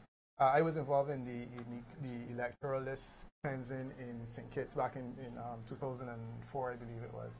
Uh, it took us 18 months for a smaller list. Here in, in, in Dominica, you have a larger list. Um, there's no way that you could do it in three months. So I, I do think that those are issues that you guys have to sit down and start to look at now going forward with a clear head. Uh, and you have another five years, so hopefully, if there are no, not with no major national natural disasters, you should be in a position to deal with some of these issues. Um, some persons claim that um, this, this electoral reform is not a three weeks back issue has been in the fray for, for quite a while now. Did that feature in, in the? No, I, I honestly thought before before Hurricane Erika, before Maria and Storm Erika, issues of electoral reform were a lot more pertinent. I mean, there was a lot of talk about the uh, certainly the setting up of the national ID. I know there was legislative and administrative action, but I, I personally felt that priorities change when when you had a hurricane to deal with, and so you should. So th that's my sense. That I think if you did not have a hurricane, it would have been difficult for us not to have dealt with reform issues by now. Uh, I do, however, feel that the priority shifted some time ago. Um, and, you know, a lot of the people who were displaced by the hurricane are the ones who are the overseas voters that are at the center of this conversation. I mean, you can't displace somebody from their house uh, by way of Hurricane Maria, send them to Barbados to live in and tell them that you can't participate in elections. It seems a bit unreasonable. So mm. maybe next time around, you know, you can have a, a better um, handle on this thing. Mm. Going forward in, in elections, um, let's let's move away from the discussions on electoral reform. Um, but in terms of the process, um, is there anything that you have found that is um, peculiar to Dominica that might be not do or doesn't give uh, in the rest of the region? What, comparisons that you, you'll be able to share with us? Um, I know so far I get I get a sense that the electoral system is like the rest of the region in the sense that it hasn't really developed a whole lot in the last 40, 50 years. I mean, we still vote the old-fashioned way with an X. Um, I, I, believe that there could be some streamlining regarding the counting and delivery of results. Um, I noticed that we are here at minutes to eight, and everyone knows what has happened, but yet still, in terms of the official release of data, that has not happened. And I think that that clearly is something that has to be tightened up. Um, you guys use Electoral Ink. Yes right? Indelible right? links. Indelible ink. Mm. Um, I, I, was just explaining to someone in, that we don't have that in Barbados. No? No. What do you do? Um, we also don't have a voter ID in Barbados. So and we, we also have a heavily bloated list. Basically, you just cross off the name of the person that votes and you move on. Um, so, so how do you check that the person doesn't go, doesn't go somewhere Because you can only vote one way, one place. Nobody so can go in another parish to vote, no? You can only vote one place. Your name is at one point. So if you go to your polling station, your name is checked off by not only the electoral officer, but by the two representatives of the parties. Yeah, if you attempt to go back and vote again, then basically your name is there. Um, if, however, you appeared and you try to vote in somebody else's name, that's perhaps something that could happen. But mm-hmm. again, mm in a small society like Barbados, it's hard for that to happen. I think in a small society like Dominica, it's harder for that to happen. Our population is small. So I just mentioned those things just to give the give the sense that there's no reason to believe that the electoral system in Dominica is so backward. Uh, in many ways, it is a lot more advanced than in some other countries. Uh, people don't realize that there's no such thing as voter ID in the United Kingdom. There's no such thing. No, there's a big debate now where Precisely. the government wants to introduce it and yeah. the opposition, Labour Party saying no, and a lot of other civic yeah. institutions organizations mm -hmm. claiming that it will disenfranchise, especially the older persons. Precisely. So it, it is so interesting that it actually right now that mm -hmm. debate is raging in, in England because you know the mm -hmm. 12th, right? Just yeah. next week Wednesday, they'll be having an election. Right. So I guess that is also. Um, so so I'm just saying that you know we, we feel that these issues are you know they're so fundamental and, and this is the impression that and I tell you the UWP did a fantastic job of presenting this information. A lot of misinformation in the public domain. You know, um, they were reading results of CADRES polls that I, I knew nothing about. And I mean, some of the most absurd things. And I was listening to Lennox Linton saying that this is what the poll says. And you know, and this is what Wickham is saying. And I'm like, well, where's this information coming from? But they have done an excellent job of convincing people across the region that there is something fundamentally wrong here. Uh, and I believe that, you know, you can learn a lot from their strategies. Uh, but clearly, it is something also that you have to push back against. And as I said, when we talk about electoral reform, we have to be clear that we're not dealing with a system that is all that backward. We're not dealing with a system that's all that different from a lot of what you know uh, it, we, we have in other countries. So, yeah. So that's my my thing. Yes, certainly we have seen the discussions coming out from many individuals indicating that um, our electoral um, system is so backward mm -hmm. and that most of the Caribbean islands have moved on. But it is interesting to hear that you, you coming from the other Caribbean islands, you, you, you have a different view. Yeah. The, the um, thing with the bloated list is also something I wanted to mention quickly because um, in the last election, your electoral turnout was something in the order of 57%. percent mm -hmm. um, one of the features of a bloated list is a very low uh, voter turnout. Mm -hmm. um, in Barbados, it's the same thing, around 60%. percent um, in Jamaica, Trinidad, and Tobago, and in all of these instances, there has been no cleansing of the list. There has been no, um, you know, re-registration period. Uh, so that's perhaps something that you know you may want to think about but it is a process which is time consuming, it's long, mm -hmm. and it's mm-hmm. also very expensive. Mm uh, but that too is also not an unusual thing. Uh, my thing is, There's nothing wrong with having a lot of people on the list who can't vote once those people do not vote. If, if you have people who are dead that vote, you have a problem.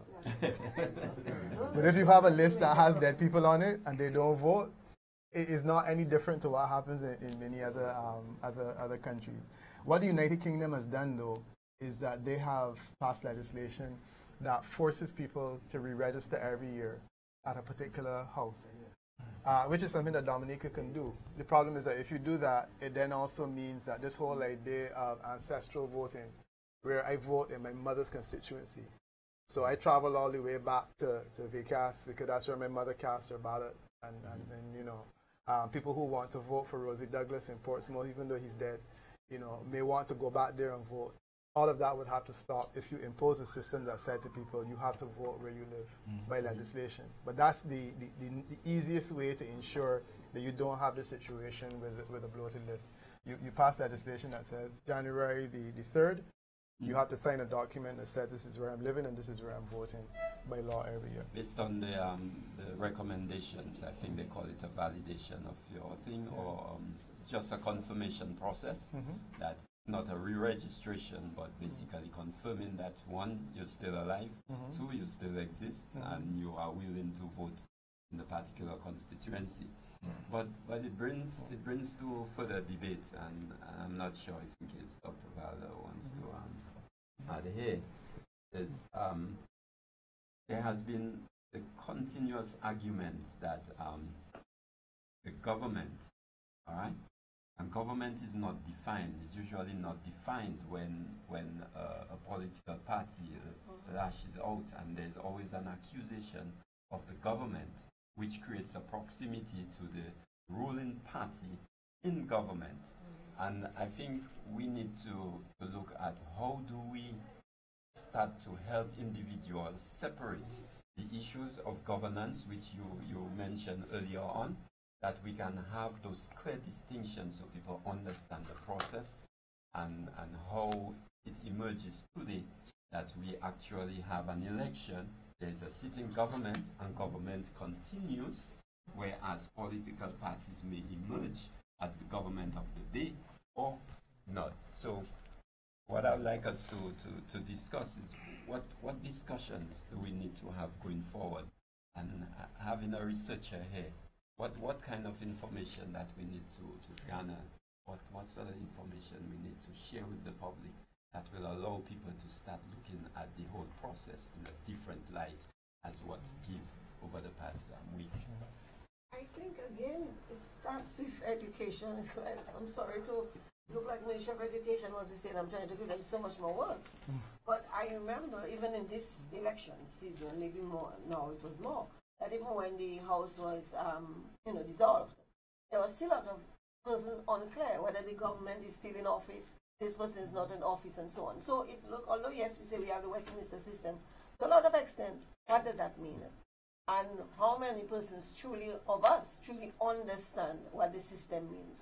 And so again, I think it, it, it boils down to, to education, it boils down, yes, the school, but also to, as I, I go back to again, the Electoral Commission itself has to play a more critical role in educating the public. You can't just sit, yes, I know that is its core role for elections, but we need to begin to hear from the commission more. It needs to begin to go on outreach programs, outreach organizations, and even the parties themselves too. Don't just wait when it's election to begin to think. The parties themselves, because the party machinery continues, you know. And in fact, as Gerald made the point, you can say that the parties um, and, the your opposition has often been accused maybe not the right this, the, right word here, of, accused of not stopping campaigning from the time they lost election in 2000. And so, is it just campaigning and just, you know, bringing on emotions, as Jared says sometimes, but also to, in terms of educating?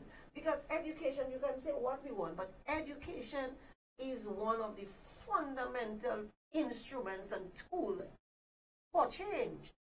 Because until people are educated fully, they just go along.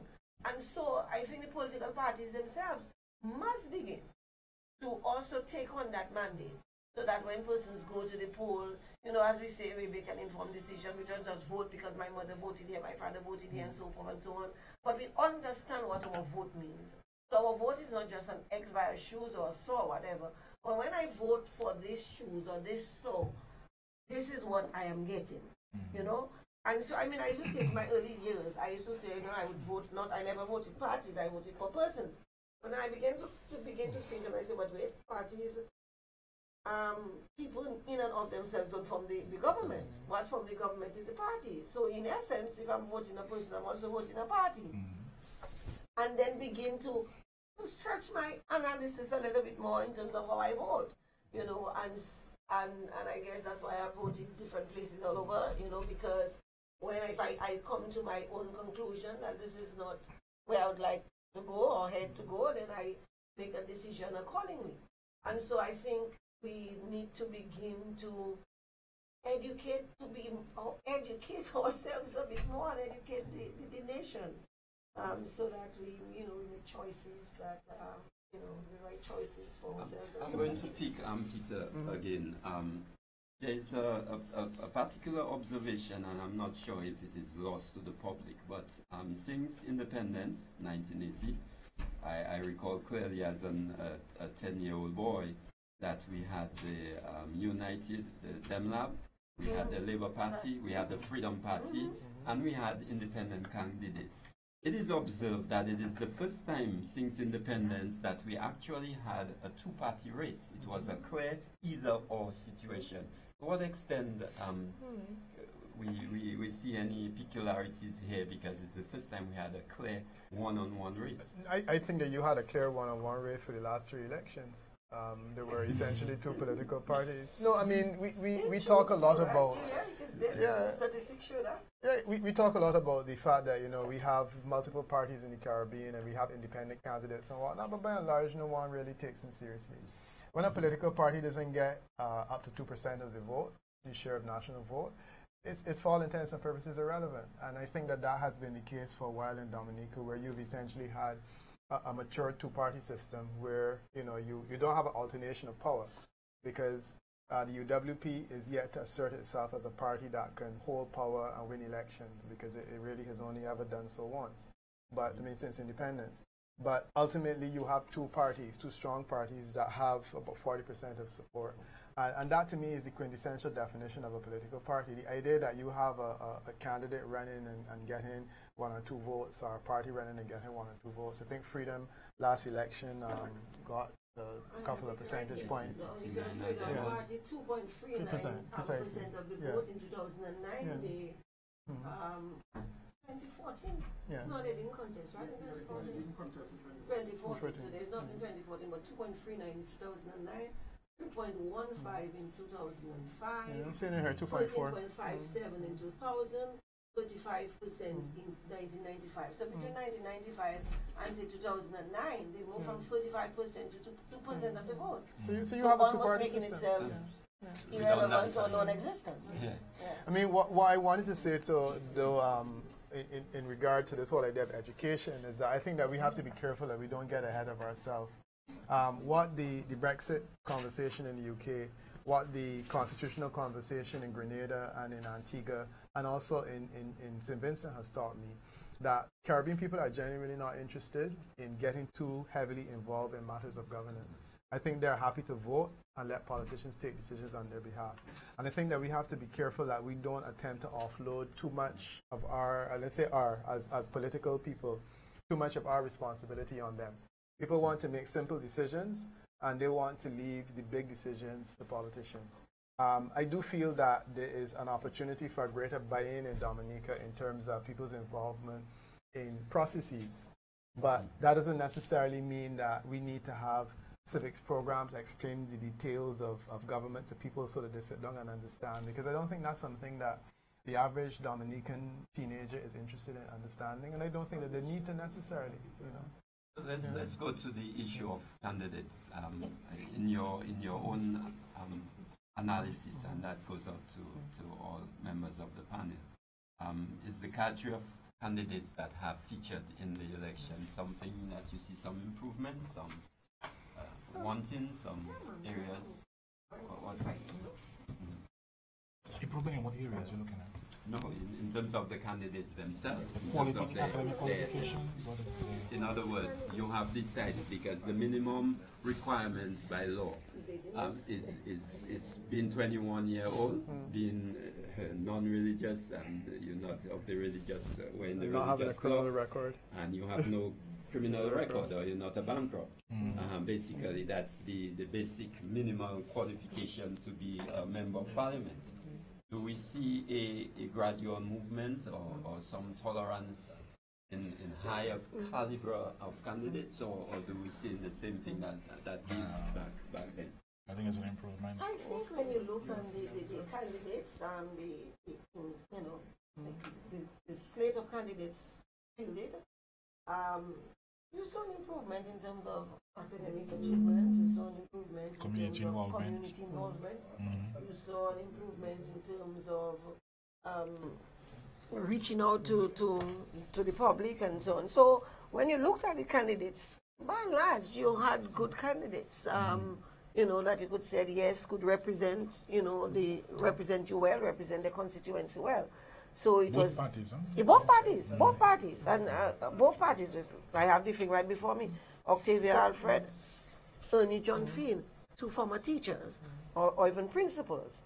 Um, Catherine Daniel, Nicholas George, two strong candidates. Miss um, Catherine being our registrar of CXCs and you know senior civil servant. Nicholas George being what left at what superintendent or higher um, in the in the police force. Miss Regina Austri, who's been there for veteran politician, um, politician. Then you have Marcus um, Roman, who I don't know very well, but good. Edward Regis, Nept Packet, good candidates. Kent Edwards, Francisca. So when we looked at the candidates, you know, on paper, the candidates were strong candidates. So results are coming out now. So let's just move over to um, Julian Morris and um, let's get some um, new results done. Go. Yes, we, we do now have some additional uh, results for you. Uh, we go straight to uh, Good Hope. That's the uh, resource center there. AO3, A to J, John Finn 111, Alfred 67. John Finn 111, Alfred 67. AO5, K to Z, John Finn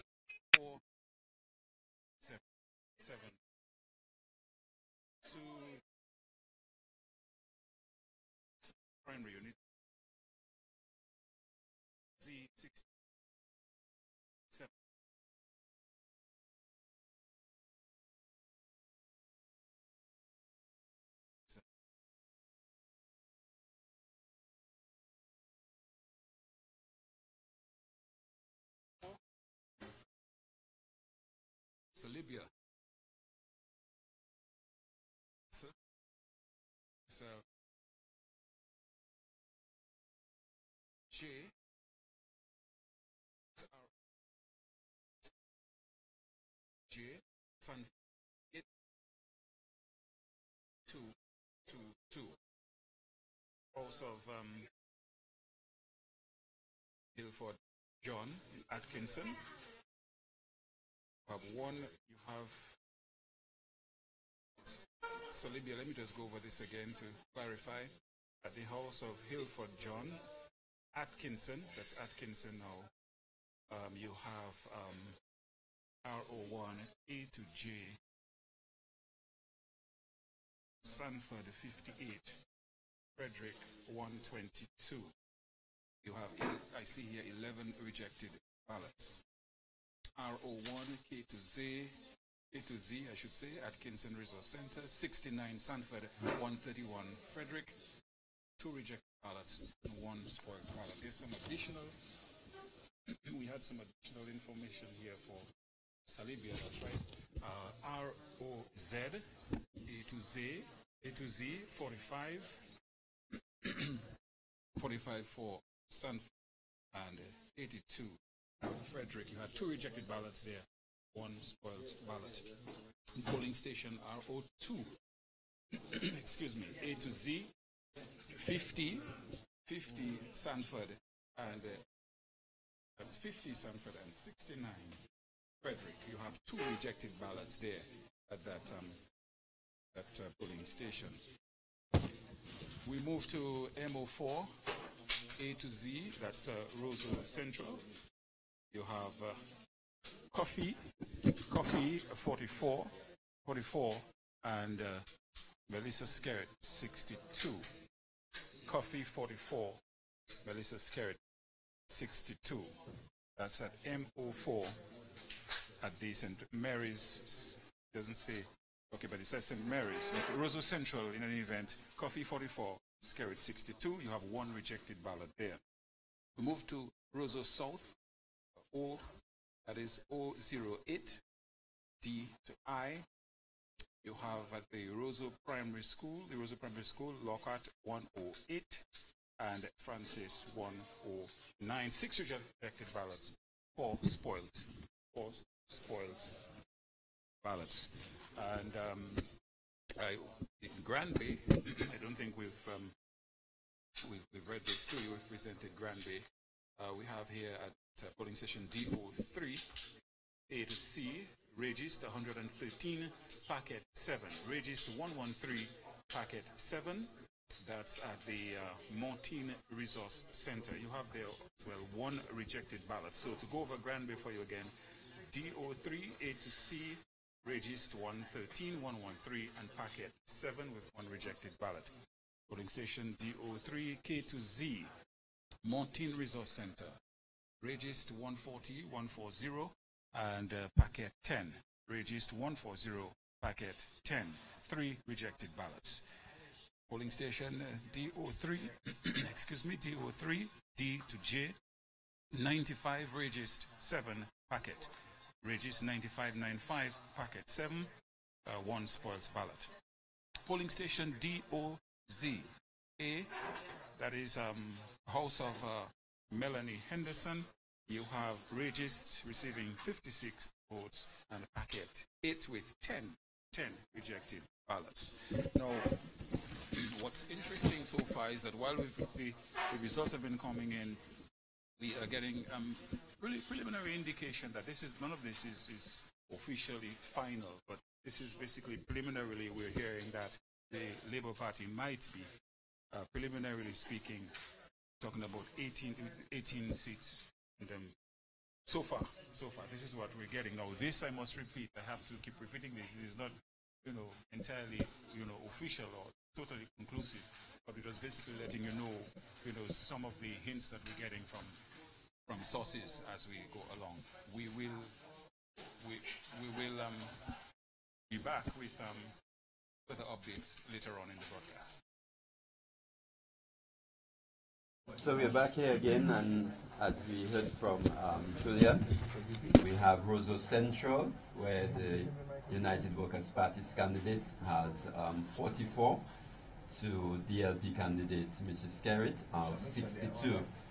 Um, in Granby, we have four results coming from four polling stations that has a total of um, um, four polling station results, seven, ten, seven, and 8 for the United Workers' Party candidate, and for the Dominica Labour Party candidate, Mr. Regis, we have 113, 140, 95, and 58.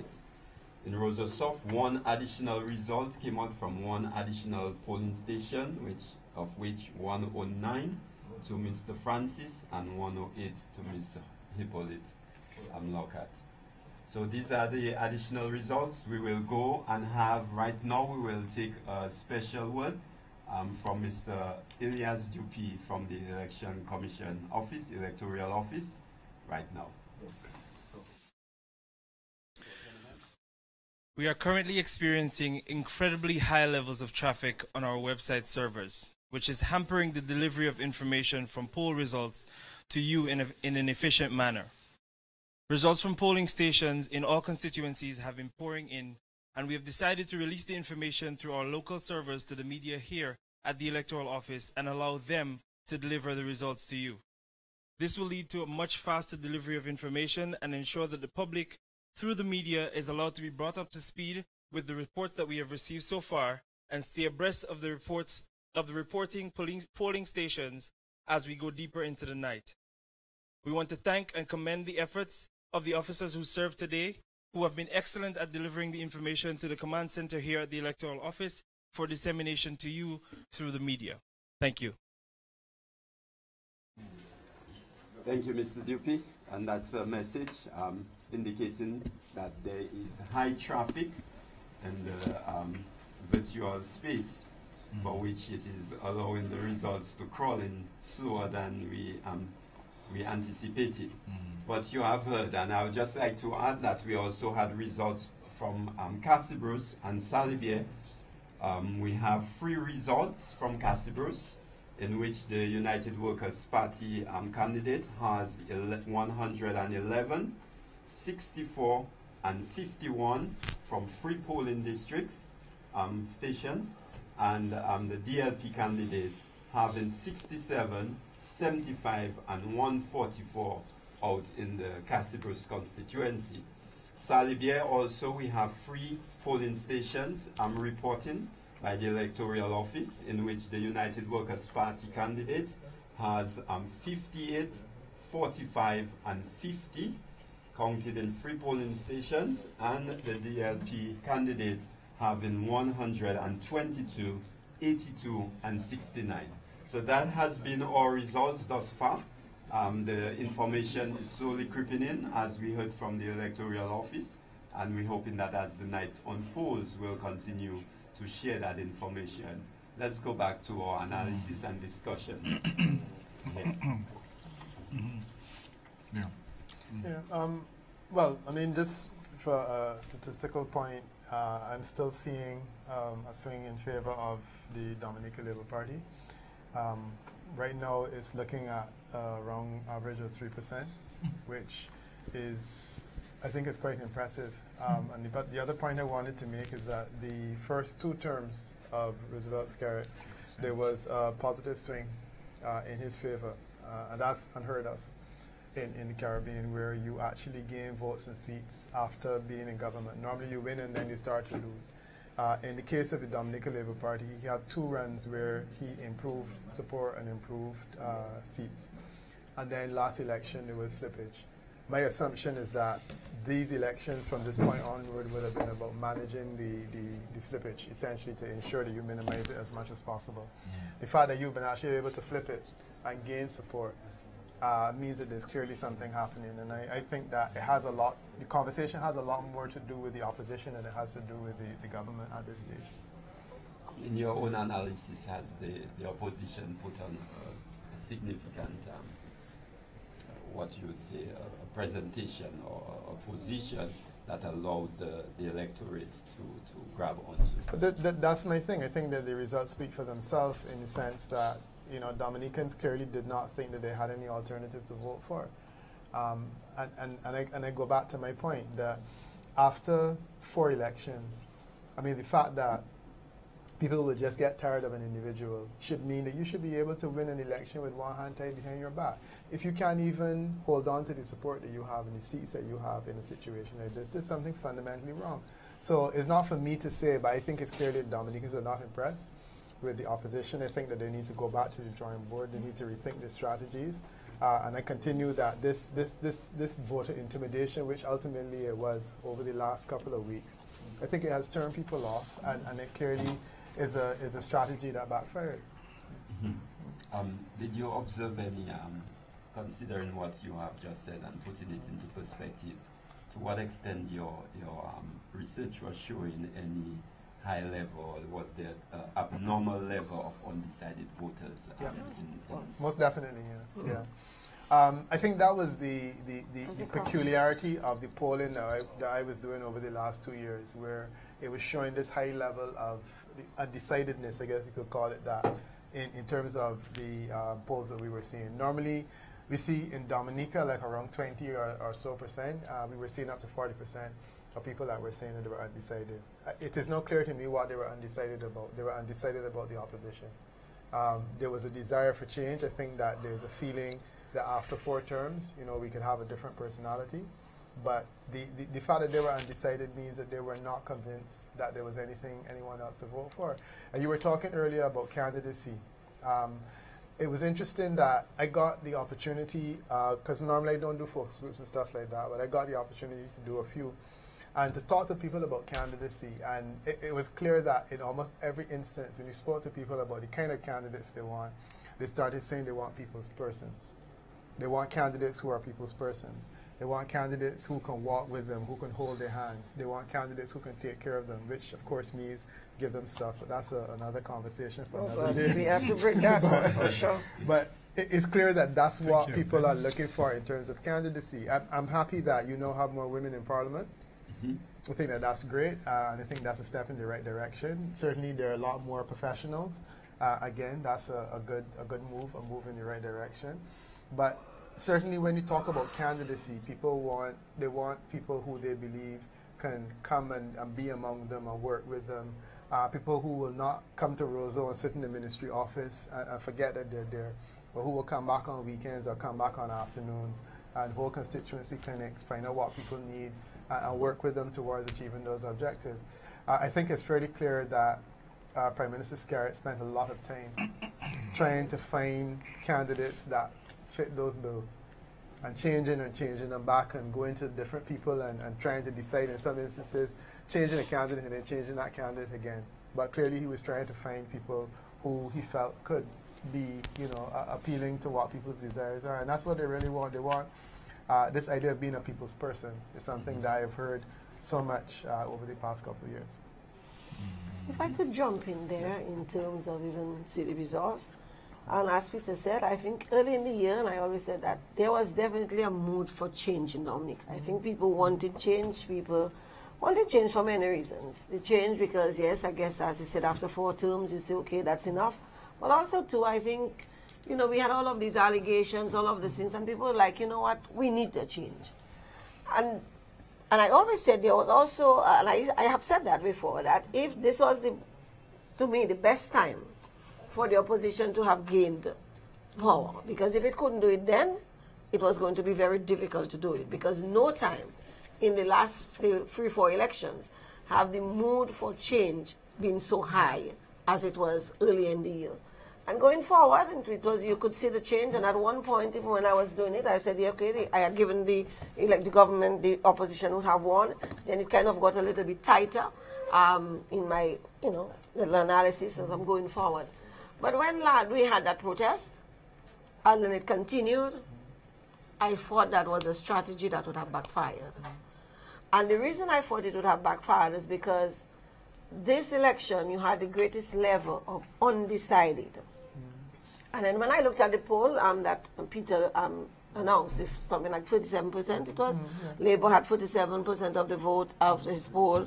Um, UWP had 30, there was I think a 1 or 3%, and there was like 43% undecided, which is a third of our population. I went back to the statistics of the 2014 election.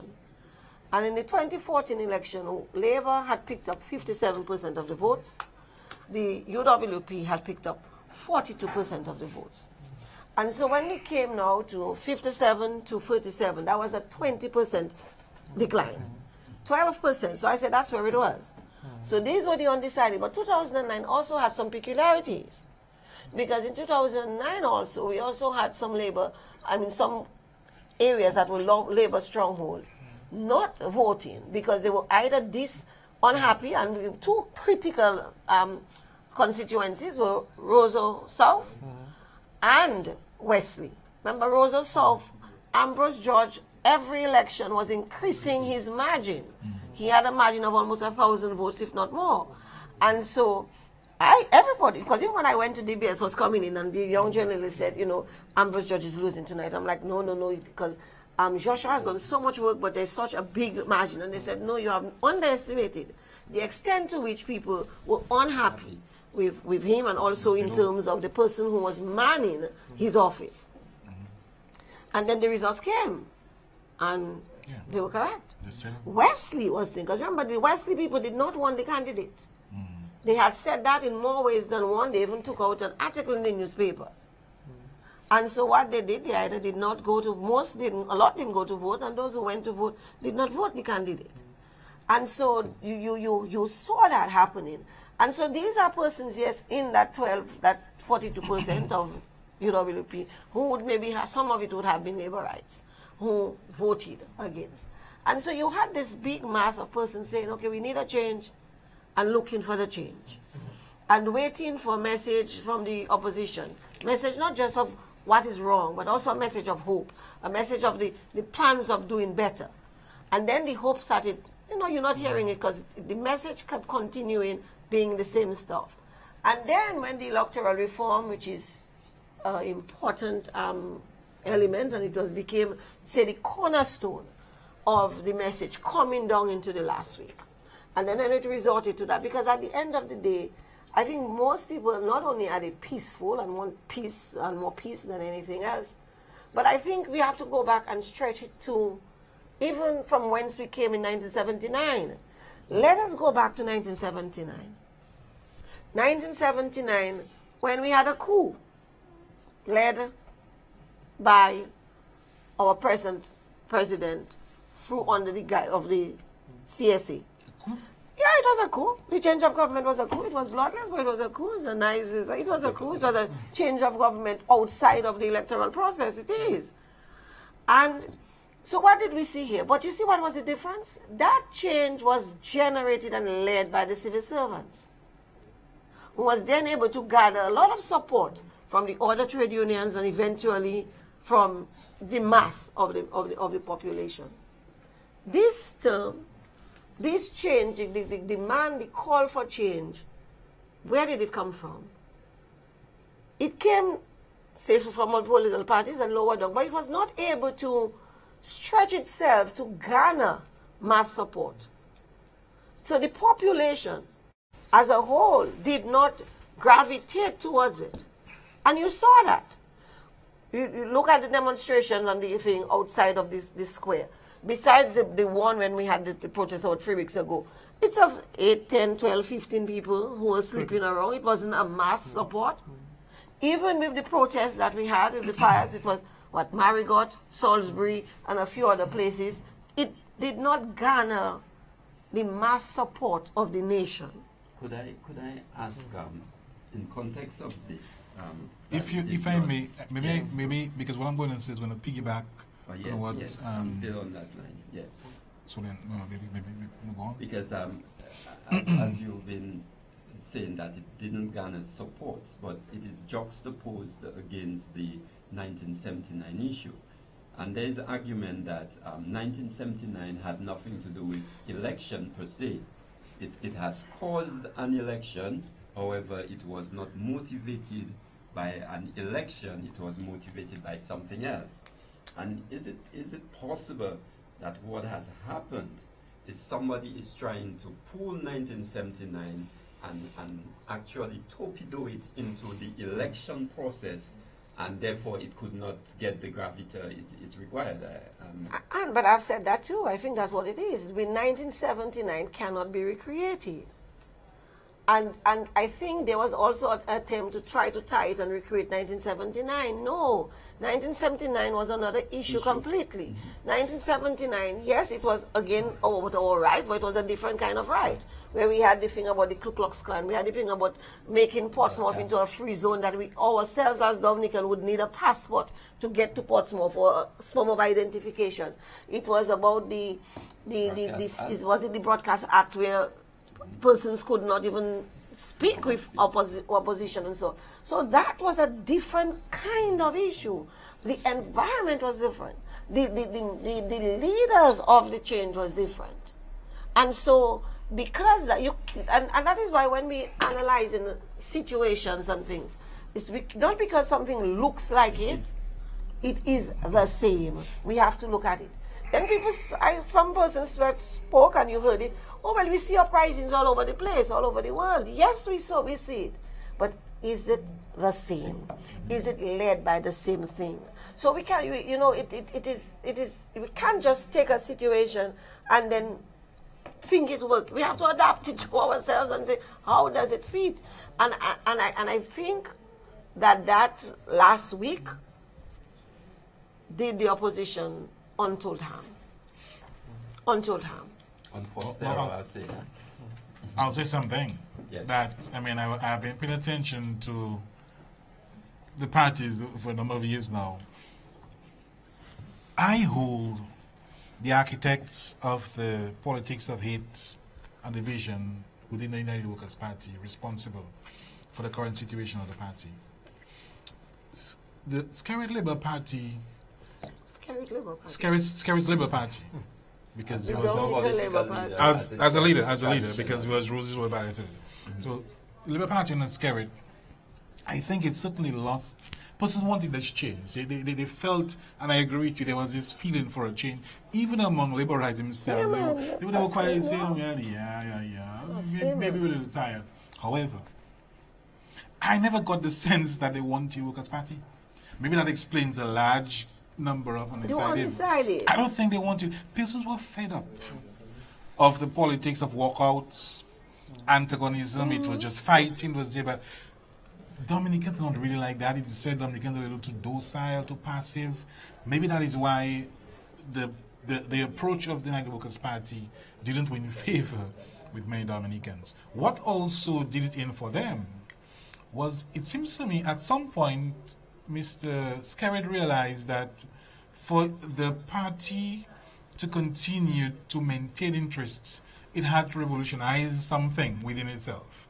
You may change the people, bring in new ideas, have a whole new re- redo, remake new colors, etc., etc. And he actually went about and he got a number of young, vibrant persons. New ideas came in. Look, right now they have a lot of yellow in the red. So the party is beginning to look like a different party. And that is why I believe this year we saw a number of young persons, lots of young persons flocking towards the labor. So while workers they couldn't capitalize what was obvious, what seemed obvious back then to be a taste, an appetite for change, but they couldn't capitalize on that. They also were losing appeal in the eyes of people. Already, already a leader was not a very a person with much appeal. He was seen to be a little distant. That was the handicap that he had. They could have worked with that. But they, meant, they maintained the same approach, the same politics of, of confrontation. Persons are tired of that. Even their own supporters were saying, we're tired of that. It's the same thing, the same thing. I heard some of the, um, some of the most uh, um, fervent supporters actually saying, look, your message is confused. You, it, it- it's the same thing. Come and better than I've heard them on um, Q95 um, radio um, um, session saying so. So while uh, um, it, it might be true that there was an appetite for change, workers couldn't capitalize on it. The Workers' Party couldn't capitalize on it. And Skerrit, Labour Party, they actually made some changes which were smart that would have made them a little more um, increasing appeal, I believe, to the to the voters. And that's where they, that's where they got them. In addition, of course, that that, that thing that last week there there was this morning one word was on the lips of many persons disgusted. They will they would you, yes. So when you said that word, I'm like ah, that was the word. Persons were pissed off, shocked. Did I say pissed off? Yes, well, they were you did. vexed, angry.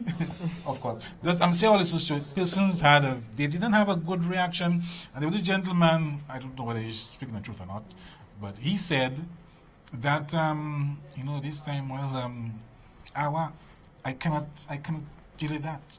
I can't deal with that. I don't want that. Because person realized that that was taking Dominic in a direction where we didn't want to go. And maybe that explained the crowds very early on this morning that was sustained up till late morning. Well, I guess both leaders urged their supporters to go to vote. But Mm. I think something else we cannot forget in that equation, if all of that, is the difference in the in the in the purse of the two parties. I think that too must have played a part um, in in the results because the the Labour purse was clearly a much much bigger purse um, than the United Workers' Party's purse, and I think to some extent that that impacted. Um, but I always say if people really want change, no matter how much you pay them, they will make the change. I, and I really think the, the that lasting was really a, um, I, I, A a, coup de grace. That's, that, that, I that's don't know the- who advised on that strategy, to be quite honest. But um, but I think we cannot, um, and maybe that is part of where campaign financing comes as, as another topic that maybe in the next term that we may But in have our to 41 discuss. year history as an independent nat- nation, um, we have seen a situation where um, the whole of the purse, um, with a very tight hold and grip and, and some shown of, of strength, was di- di- dis- displaced by that very party. And I, mean, to what extent that argument, because we have seen both sides. Oh no, I mean that because I mean if you take St. Kitts in the last election, the the, the, the, um, the government lost even if with even alle- allegations of, of plane loads of persons. So so yes, it's that is not the only factor, but it, it it does influence. And that doesn't mean you cannot win an election because somebody has a bigger purse than you. That is not the, the point. But having a big purse influences and can help you to navigate and influence and get a few votes that maybe you may not have been able to, to get, you know. Um, and, and or to or again maybe having the big size of the purse shows persons that you can then use it because I will tell you something about me personally. Every election I get a little upset. I think the campaign fi- um, campaign thing is just a little too lavish for me. And I, because I keep saying, that is me personally, eh? I keep saying, and this year I said it even more than I have said it before. And I said, if you can get all this money to do all of these things, I, I see it as waste, to be quite honest. Because for me, I'm not going to be influenced because somebody has brought down somebody or because I have 20 vuvuzelas or whatever. I will not be, that is me, will not be influenced by that, will not influence my vote. And so I oftentimes equate myself and stretch it to others and saying, well, that should not influence too many persons. And I'm saying, okay, why, if we could get all that money for campaigning, can we get some more as the state, for the state, because it's the same head, party leader, prime minister, to get some more of those same sources to fund critical areas in our economy? So the question lies, You know. the, the question that emotes here, really and truly, is um, if you, if if there is an accounting, and and which is the argument that the the opposition had put, they put an accounting. There's the issue of 1.2 million dollars, and, and what you are saying, I'm hearing billion Billion, dollars. billion. I'm, I'm hearing a similar sentiment because, um, in my understanding in politics or in any profession or anything, there's what you call um, um, proximity. By proximity, I am your friend, you have a particular skill, I on emotion, you participate with me. Yes, there's an accounting, but it's not all time it is a dollar exchange. Mm-hmm. It is it is really. So so yes, the bigger purse has to be defined much more clearly that it doesn't necessarily mean that any one party expended monies directly, but they had what you call proximities or, or, or, or associations that they were able to expense A rather than a broader spend. network. Oh, I- oh, I agree with so, that. So I, I want to see to what extent do we have those issues in that case because uh, 19 years into power, it means that you have leverage. Oh, you I, must. I want to, Yeah. I want to You say something very must. quickly though about this whole question of money. Um, yeah, uh, there's no question about it that the Labour Party was better financed. As, as mm. incumbent, normally it would enjoy that. But you know, one of the things you will find in the region is that when a government, when people want to change a government, money flows to the opposition. And I mm. use as the example the Barbados Labour Party's campaign. Mm. Even though they were fighting against a government that was in power and was clearly well financed, mm-hmm. they, they got resources because Mhm. resources flow to the place where where people people think. think. Mm-hmm. And, and I think that that's one of the challenges. Clearly, there are not a lot of mm-hmm. people who are willing to invest in Lennox Linton. And the other point in terms of this 1.5 billion or whatnot, you know, he, he has a basic problem regarding credibility. People don't believe him. He's like Boris Johnson. You know, you, you will say something and, and you say, you know, it's gonna be it's gonna be sunny today and everybody's going out with a raincoat. Th- that is Lennox Linton's problem. he, he doesn't really have the credibility to be able to sell the idea that 1.5 billion dollars is missing. 1.2. I'm sorry, 1.2 billion dollars is missing. Mm. Right. Uh, and I, I, I, have, I have not met a lot of Dominicans that actually believe what he's saying. Uh, and I mean, he may very well be speaking truth. There may be some variant of it somewhere in some document.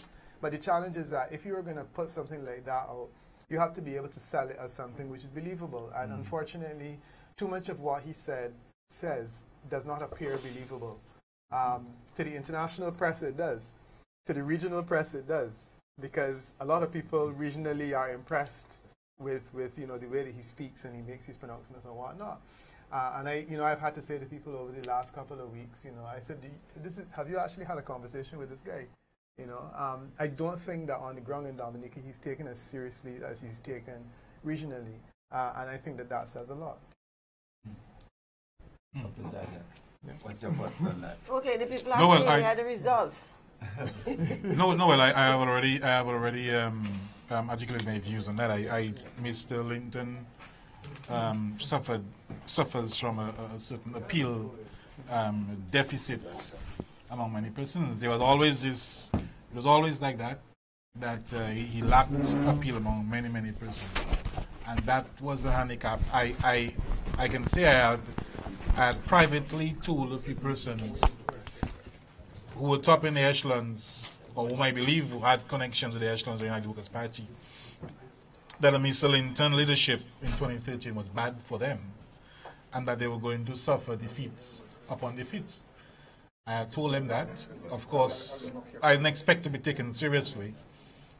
Um, and when the 2014 elections came and they lost, I told them, well, look, I'm hoping that you're going to make a change. And then I think there was a, they had a, a, some election, he was re-elected.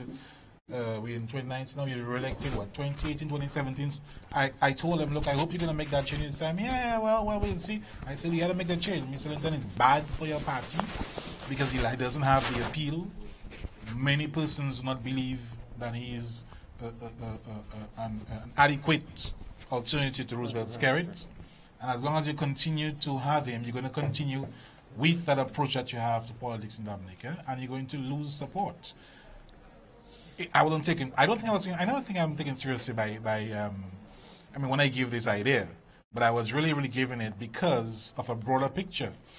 I think part of the problem with democracy in Dominica is that the opposition. and Mr. Said it once. He said in a certain way, and like it. He said, um, I think he said, um, let's get rid um, if these fellas have no use to you, what do we?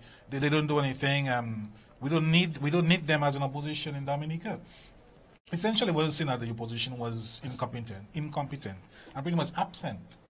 And that is my similar. I share an, an, an analysis of the opposition under Mr. Linton. But what that does for democracy is it doesn't. Number one, the government doesn't have a partner, a serious partner with which it can uh, negotiate, it can battle um, logically, you know, no, no, no fighting, it can battle, and it can come to some a program for development that is beneficial to all. So the government has to go into loan. The government has gone into loan pretty much after Erika. Government has gone into loan after Maria. The government is going into loan um, with um, the resilience agenda. The opposition is absent its voice when it attends these functions, uh, for example, the consultation on um, the CREAD. I remember there were what, what, two or three consultations with the CREAD. One, I believe, was absent. Another one, I, I think I can remember is them sitting down there. But the the, the, the, the engagement, the interaction, is not is not one that is going to to, to be a, to be so rich as going to benefit the development agenda. So they have been absent. So an opposition that is bent on confrontation is going everything for it is a fight instead of looking to see well how it can improve improve on what the government is putting forward for us that is a loss for dominica that's a loss okay and everything it articulates to its people is about um, um, um, uh, um, this side is not for you the, um, government hates you I think um, Mr. Linton may have convinced persons in America that the government actually genuinely hates them. Skerrit, Roosevelt's Skerrit doesn't love you. I mean, where, where, where is that coming from?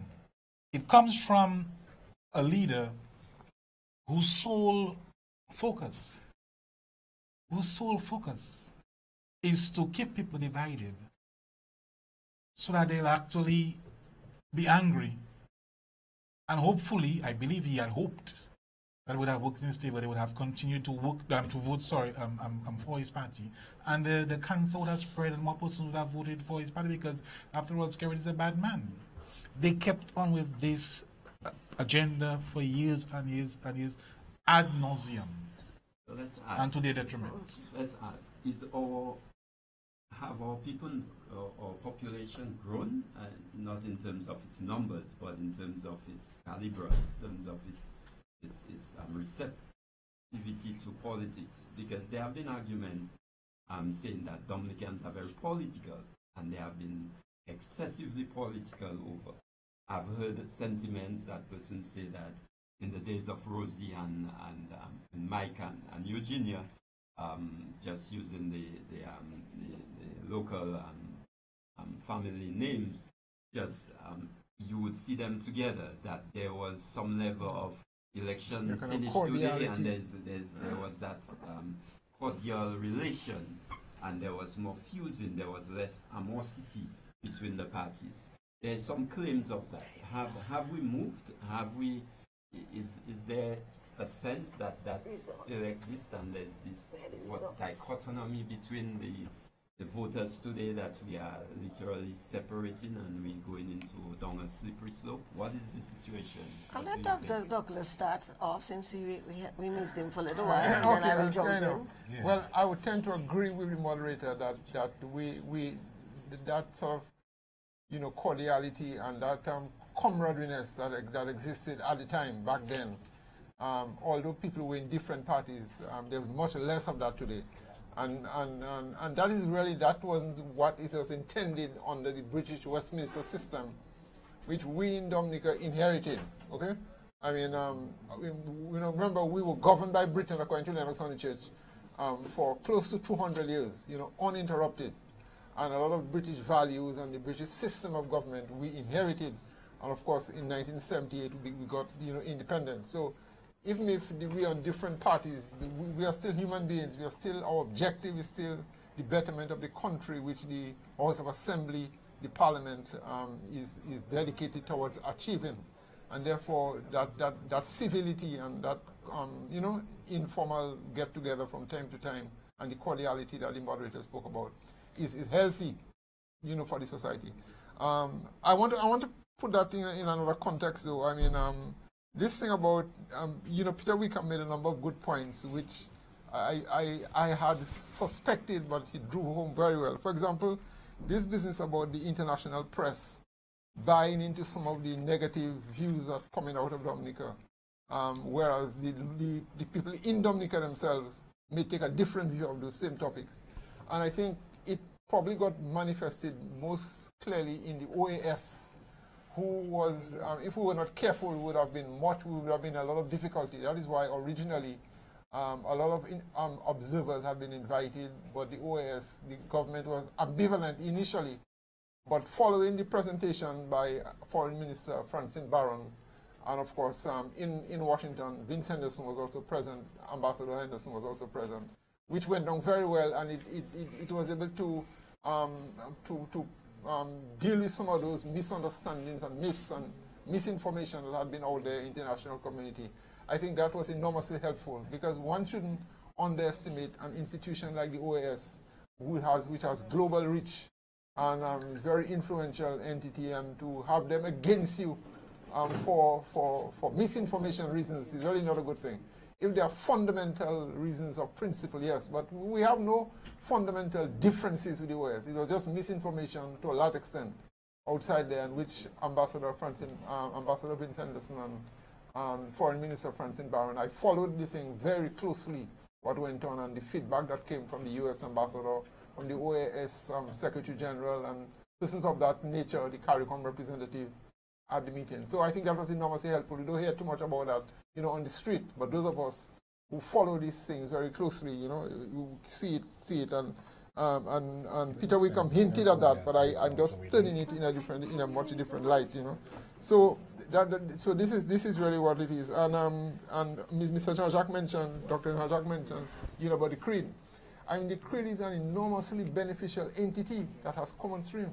And I went to some of those consultations, and really the input from the opposition was minimal. And I really didn't understand why, why that was the case, because I followed the, the invitation coming out from the cabinet secretary's office and, uh, and um, the, the PS of planning, and you know, and you know, one should have embraced that opportunity because the whole resilience agenda, they are central to it.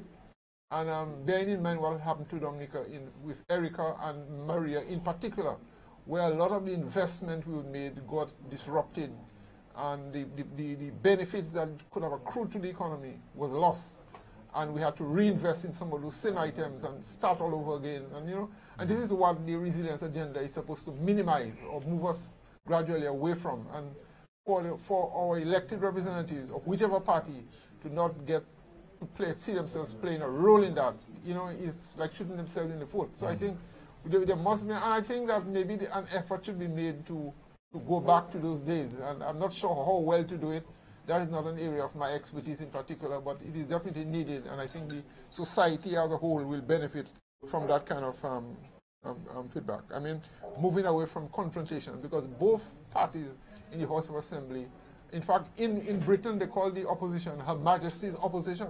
I lived in Britain for close to two years, you know, while I was there, I remember one of the highlights of my stay in Britain uh, was, um, was uh, actually witness a sitting of the House of Assembly when Tony Blair was prime minister. Actually mm. followed the whole thing, you know.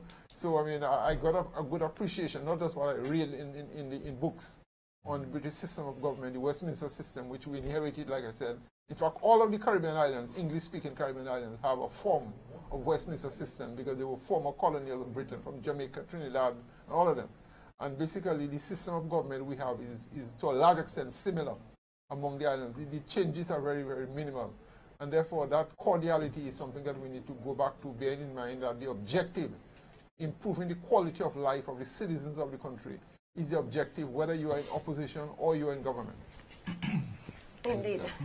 We have, we have, we have. Any, what's about, what, what, what the results? Well, I, um, I know persons are asking about the results, but we don't have any. I know there are lots of results. speculations and there may be results, but we do not have the official results we are waiting. The last time we called results, when we got the last results from Julian. Mm -hmm. And so we have not um, received the results, though I know from messages I've received that there is a speculation, or there is maybe more than a speculation, there is a expectation that the government has won, um, has retained, the Labour Party Labour has retained um, the majority and will form the new government. But I wanted to just chime in a little bit in terms of some of the things that um, both Dr. Jean-Jacques and Dr. Douglas said. And, I will, and I'll start back with, um, start off with Dr. Jean-Jacques um, in terms of, um, you know, his own perception of Lennox and his likability or unlikability and so on.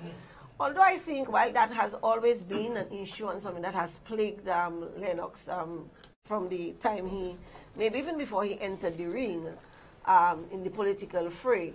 But I, I, I, I certainly believe that there was a point where it didn't really matter, that persons took Lennox for who he was, recognized him, and was prepared for that change, you know, and still, on the, yes, we still had the high percentage of undecided, but persons were going to be moving beyond Lennox and looking for the, at the bigger picture. What I, what I think happened is that somehow the party was unable to sustain that. And, and, and a few factors. One became something I've said. I said to people when I went to St. Kitts and I taught political science, so I knew that was in Jamaica. Things were right or wrong, and people saw things along party lines. I went to St. Kitts, and I mean, as I say to people, down to the funeral homes, you went to a, you were buried based on your party affiliations and so on. But, and I used to say to them, boy, thank God Dominica is not like that. that after an election, it's over, it's done, and we move on until the next election. Sadly, we have moved maybe even beyond St. Kitts and Jamaica in the sense of this animosity, this division that has crept into our country. Such that if you do not support, if you have a view that is different, you get called all sorts of names you are almost harassed and harangued. And I think both parties' supporters are guilty of that act. And one of the things I, I keep reflecting, and I said, if we said we're a democracy, and which is what we're saying, and so people have a right to vote, if we all support the same party, then we're going to have a one-party state. Mm-hmm. is that what we want? The I answer is no. Good point, good point. And so it means we have to respect the view. You can try to influence a person. You try to try to, to show them your way, but you have to respect a person's view to hold, you know, whatever view that they hold. Such that, because I always think it's counterproductive. If you we keep calling persons all sorts of names, and then these are the same persons you expect who's going to vote for you, it's not going to happen. So it, it, it, it is somehow we have to really get back to a more civil place because that civil incivility is really creeping in. It's also even uh, impacting our children. Because I will say to you, my little boy came to me one morning and he, he determined and he declared his, um, his party allegiance. And then he started saying to me, and you know, trying to ask me what I was and what I was, and wanted to know that I had to tell him what I was. You know, he's 10. And then started saying to me, you know, thinking about that party, no, no, no, it's his party, that is a good party, and so forth, and so on, and so on. And I was like, okay, now where are you getting that from? It is from the outside. It's imbuing, and the children are buying into that. If our we, we keep on, if we keep up this animosity and this anger that's happening, what is going to happen to our next generation of children? We have to think about it. I've said it before. I know so I got flack about it, but I'll say it again. I think part of the reason too for this incivility that exists is our two leaders. Mm.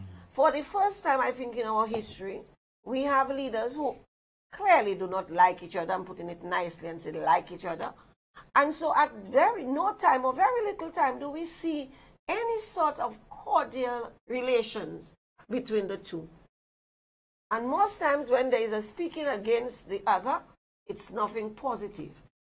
And so, if if especially now we've gotten ourselves into such party lines, like we're going down party lines, supporters are going to buy into this. And so I think our leaders of the parties themselves need to lead by example. I think when this election is over, the results have been declared. I think the first order of business has to be the two leaders meeting to chat a path going forward. Because we cannot continue as a nation down that path we've traveled the last five years, and definitely not that path in the last year. It's not going to augur well because Henry, our there's a- opposition is there's a, there's a common argument, and I've heard it said uh, among many individuals that um, the former leader of the opposition is incapable of actually being at the table. And Which one? Former leader, which one? well, um, Mr. Lennox Linton. Oh, sorry, okay. okay. Mhm. Um, because I've heard the, the um, Prime Minister has indicated about his cordial, and we, and, uh, and we have seen it, uh, his exchanges with uh, Mr. Edison James when he was the leader of the opposition. We, we have seen that despite there being a difference in, in, um, in Political position view, and political Mhm. views, that at least that they were able to, to be at a table be able to have a discussion, be able to, to communicate with each other, liaise with each other, and even agree on certain um, common points outside of the, the, the public view. And um, we did not hear utterances from Mr. Edison James indicating that, but, but the Prime Minister did always allude to that. But there has been an erosion, an erosion at a very high level, and um, le- let's really and truly let's examine But the I- horns. I- I- yeah.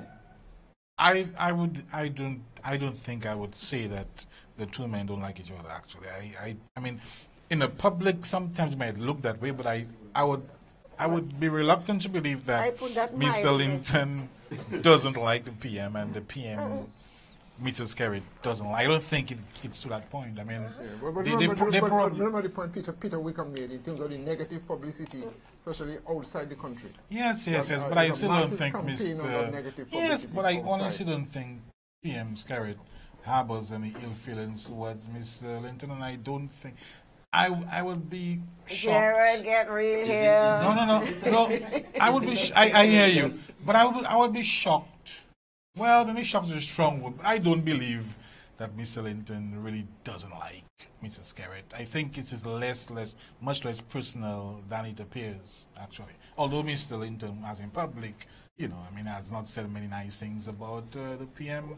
But I think that's And all politics. versa? I think that's and vice versa. Well, I think that's all politics, man. That's all politics. Well, I would hope so. You know, I mean, I've spoken actually. I've spoken to both of them, um, one more than the other, and I don't get a sense that the idea of hating each other, disliking each other, is that much of an issue at all. Sometimes we actually have seen them smiling and speaking to each other in the house. We have seen them, you know. Um, Mr. Skerrit likes to throw a little jab. Mr. Linton likes to enjoy a good joke, you know, and he too can throw his things. Well, I think it's deeper than that, and, and the conversation is goes beyond that. I mean, there are distinctions in policy. There's a distinction in policy um, implementation and approach and, and, and viewpoint.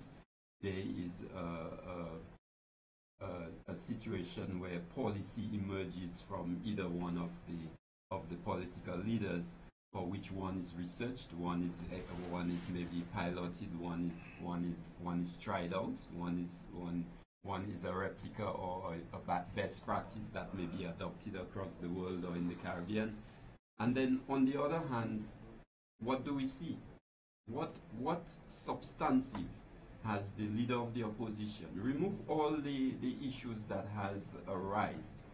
What can we say that the leader of the opposition, former, has presented to the population that allow it to have a, um, cause a change or, or to, to emote a change?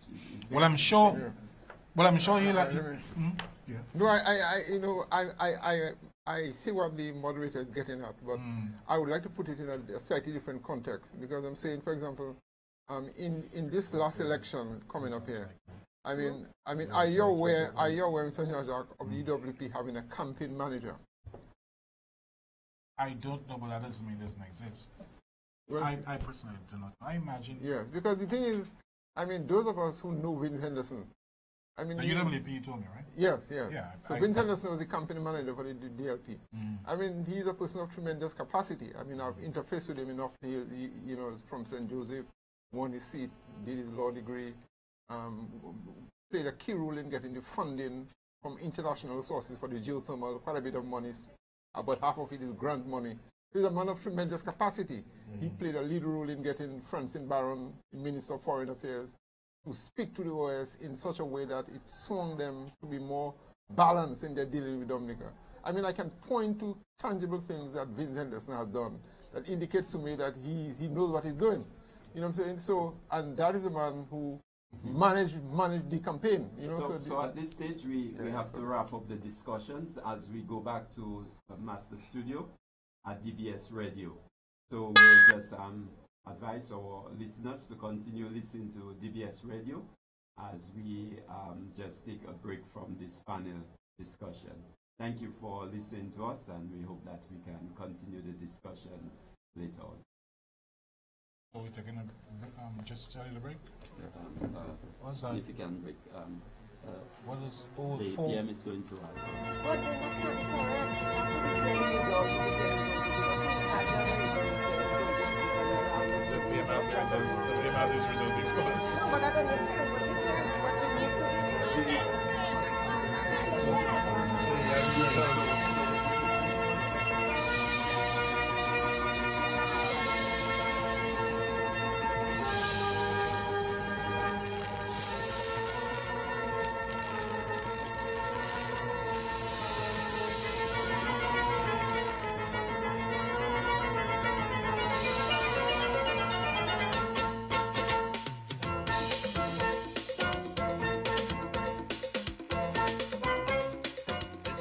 DBS Radio. We continue coverage of the general elections 2019.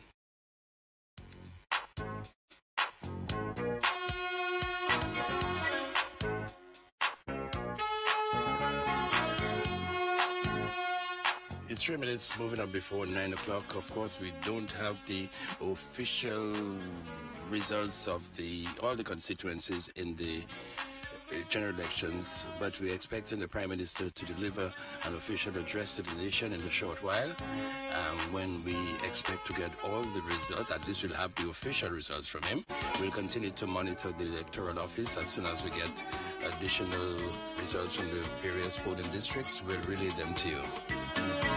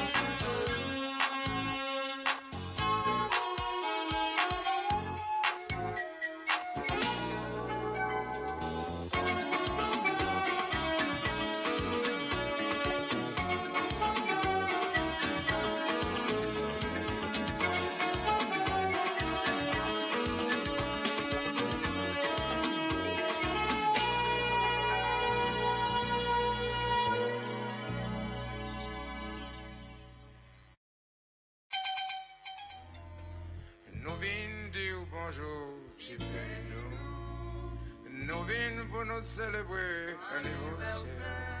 L'homme que nous voulons causer avec,